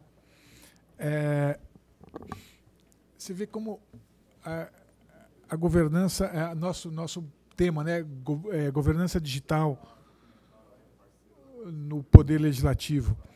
E depois de tudo que isso que o ministro André Ramos Tavares trouxe, é uma coisa muito interessante a gente pensar como a gente está caminhando para passos largos, né? Para aquele quando a gente era acho que todo mundo aqui tem na, na mente é, filmes de ficção científica onde tinha uma onde não tinha governo, né? Os filmes de ficção científica mais antigos, dos anos 70, 80, não tinha governo e sempre se referia a uma grande corporação, que haveria no domínio daquela sociedade uma grande corporação. E parece que essa realidade está ficando muito próximo da gente. Né? A gente assistia aquilo, na verdade, o enredo se dava em outro contexto, e a gente vai assistindo isso e vendo que, que parece que está chegando perto. Né? E o, e o professor, o ministro André Ramos Tavares, chama, chama a atenção da, da gente para como é fundamental, e nós estamos vivendo isso hoje, no, no dia de hoje, aliás, como é fundamental, ainda é e sempre vai ser fundamental a presença do Estado. Porque você não pode deixar uma sociedade inteira, um país inteiro, um continente inteiro, à mercê do algoritmo do interesse de um, de um agente privado. Isso, não, isso, não, isso não, há, não há possibilidade. Eu acho que, acho que esses dois dias já deixou claro, se, se conseguiu deixar claro isso para quem assistiu, eu já, eu já acho bom. Não é possível, isso não vai dar certo. Isso não tem condição de dar certo, isso vai dar errado. Isso vai dar errado. Não tem como o, o, o interesse privado de uma, de uma pessoa, de, um, de uma corporação, sobrepujar a, a, a vontade coletiva representada pelo, por nós, né? pelo, pelo poder público. Quer dizer, isso vai dar errado, isso não tem possibilidade de dar certo. É, eu acho que esse tema e, e, assim, aqui na Câmara eu recebo direto assim é, soluções assim. É, é, olha, tem um cara que sabe fazer não sei o quê, que faz não sei o quê, porque é inteligência artificial, porque é inteligência artificial. É, é, e eu fico assim, né, quer dizer que, bom, se você essa sedução da, da qual o, o, professor André Ramos Tavares fala, o ministro André Ramos Tavares fala, essa sedução do discurso tecnológico Quer dizer, eu fico com a, impressão de que aí não vai ter procurador, não vai ter vereador, porque vai ter um negócio lá, inteligência artificial, que sei lá, vai saber que o vereador aí vai ser inteligência artificial de centro, de direita, de esquerda, sei lá, e ela vai fazer leis, não sei. Dizer, isso não, isso não, é, não é possível isso, não é assim que, que funciona. Isso é sedução tecnológica. É o que, o, que o André estava. O professor André Ramos Tavares estava falando de sedução tecnológica. Eu acho que então, para encerrar, eu diria que eu acho que esse tema não se encerra aqui. Eu queria que a gente voltasse. Eu queria agradecer mais uma vez à OAB, a Comissão de Advocacia Pública, por estar por ter nos chamado, nos, nos convidado para estar junto. Queria agradecer a Prolegis, queria agradecer a Ampal, eu, queria, eu já agradeci ontem a, a, presença do presidente da Associação dos Procuradores do município de São Paulo, do, dos procuradores do Executivo, o, o Carbone, porque nós somos, mudando um pouco agora o, o, o assunto, né, nós somos todos, todos é, é, é, é, marinheiros de uma mesma nau, né, que é a advocacia pública nos poderes, no poderes, no, nos poderes de Estado. Quer dizer, o, o que der certo para um pode dar certo para todos. O que der errado vai dar errado para todos. Né? O que pode dar certo pode ser que aplique-se a todos. O que der errado vai afetar todos, vai dar errado para todos. Eu acho que isso é uma coisa. Seria muito bom que todo mundo saísse com, com muita clareza disso aqui. É, eu acho que, como eu repito, o tema de governança digital não se esgota. Acho que a palestra do, do professor André Ramos Tavares foi muito boa no sentido de alertar para a sedução digital. Acho que, se, acho que esse termo a gente pode incorporar para o nosso dia a dia. Quer dizer, a sedução digital. E aí eu só queria dizer uma, uma coisa, um exemplo concreto aqui, que a gente, que a gente passa, passou aqui pela, pela Câmara. O painel da, da, Câmara ele é muito grande, ele tem não sei quantos, quantas TVs lá, quantas telas para fazer um painel só. Aquilo tem uma tecnologia para que, que cada tela daquela forme uma imagem só, forme um, um todo, forme um, um, conjunto só. Porque senão você teria várias telinhas com a mesma coisa, com a mesma informação. Isso é fácil de fazer. Agora, para um monte de tela reproduzir a, uma, uma informação de uma maneira única, é, existe uma tecnologia, existe um programa. Né? E, e, por, e aí eu vou, por exemplo, a tal da sedução digital. Né? A primeira vez que a gente contratou isso do painel eletrônico, porque tem que ser eletrônico, que esse painel, painel, porque esse negócio de, de colocar número lá, de né, ultrapassado, porque o painel, muito bem, o painel realmente é bom, bacana. O cara, hoje em dia o cara até entra falando, o vereador entra falando e sai o som e tal.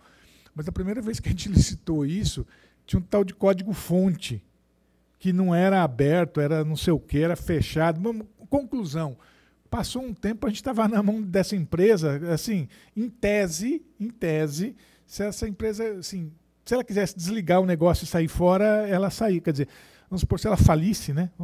se ela derretesse, se ela falisse, a gente ia ficar sem painel aqui, sem sessão. Por causa do tal do código-fonte, né? A folha, a folha de pagamento também, né? O tal do código-fonte. E aí a gente passou depois a exigir tal, fazer licitações tal, que o cara tinha que fornecer o tal do, do código-fonte. Eu, como sou analógico, eu sei lá para que serve esse código-fonte. Eu só sei que sem ele você não faz nada. Se você não tiver, se o cara que você con contratar não te der isso, não te der acesso a isso, você está você tá lascado. Ele faz de você o que ele quiser. Então, eu acho que é, esses são exemplos concretos que, que já, já, já, já, aconteceu aqui. Imagina o, o, que vai vir aí. Agora que esse negócio de, de inteligência digital. O que, foi? Tá. É, enfim, é muito. É, é, é essa, eu acho que o tema não esgota. E, nós, e aí é mais uma trincheira para a gente lutar. Né? Para a gente tá, não é lutar contra. É que o que o professor também falava, não é contra é estar preparado para a desmistificação. Ninguém é contra. Eu não sou, não sou contra e-mail, não sou contra computador, painel, painel lá, que maravilhoso que a Câmara tem lá, que acende e conta os votos e, e, e fixa o tempo lá e apita quando acabar o tempo do, do, do cara falar, ah, maravilha, show. Eu não sou contra ele. Eu só, sou, eu só não sou deslumbrado com ele, né? É isso. Então, mais uma vez, queria agradecer ao OAB reforçar que eu gostaria de continuar a fazer mais eventos com a OAB, agradecer aí a, Comissão de Advogado Público, agradecer a OAB, enfim, na, na pessoa da Patrícia Vanzolini, que é a, a presidente, agradecer a Proleges, agradecer a Ampal, tá certo? E dizer que vamos fazer mais eventos juntos, nós precisamos, porque uh, o desafio é parece que fácil, mas parece que ele aumenta a cada dia. Né? A gente resolve um, alguns desafios, aparecem mais três. Né? Então, nós, e nós estaremos aqui é, para debater, para é, fomentar a discussão. Então, com, com essas palavras, eu queria mais uma vez agradecer a presença de todos, presentes e online, e declarar encerrado o nosso evento. Muito obrigado.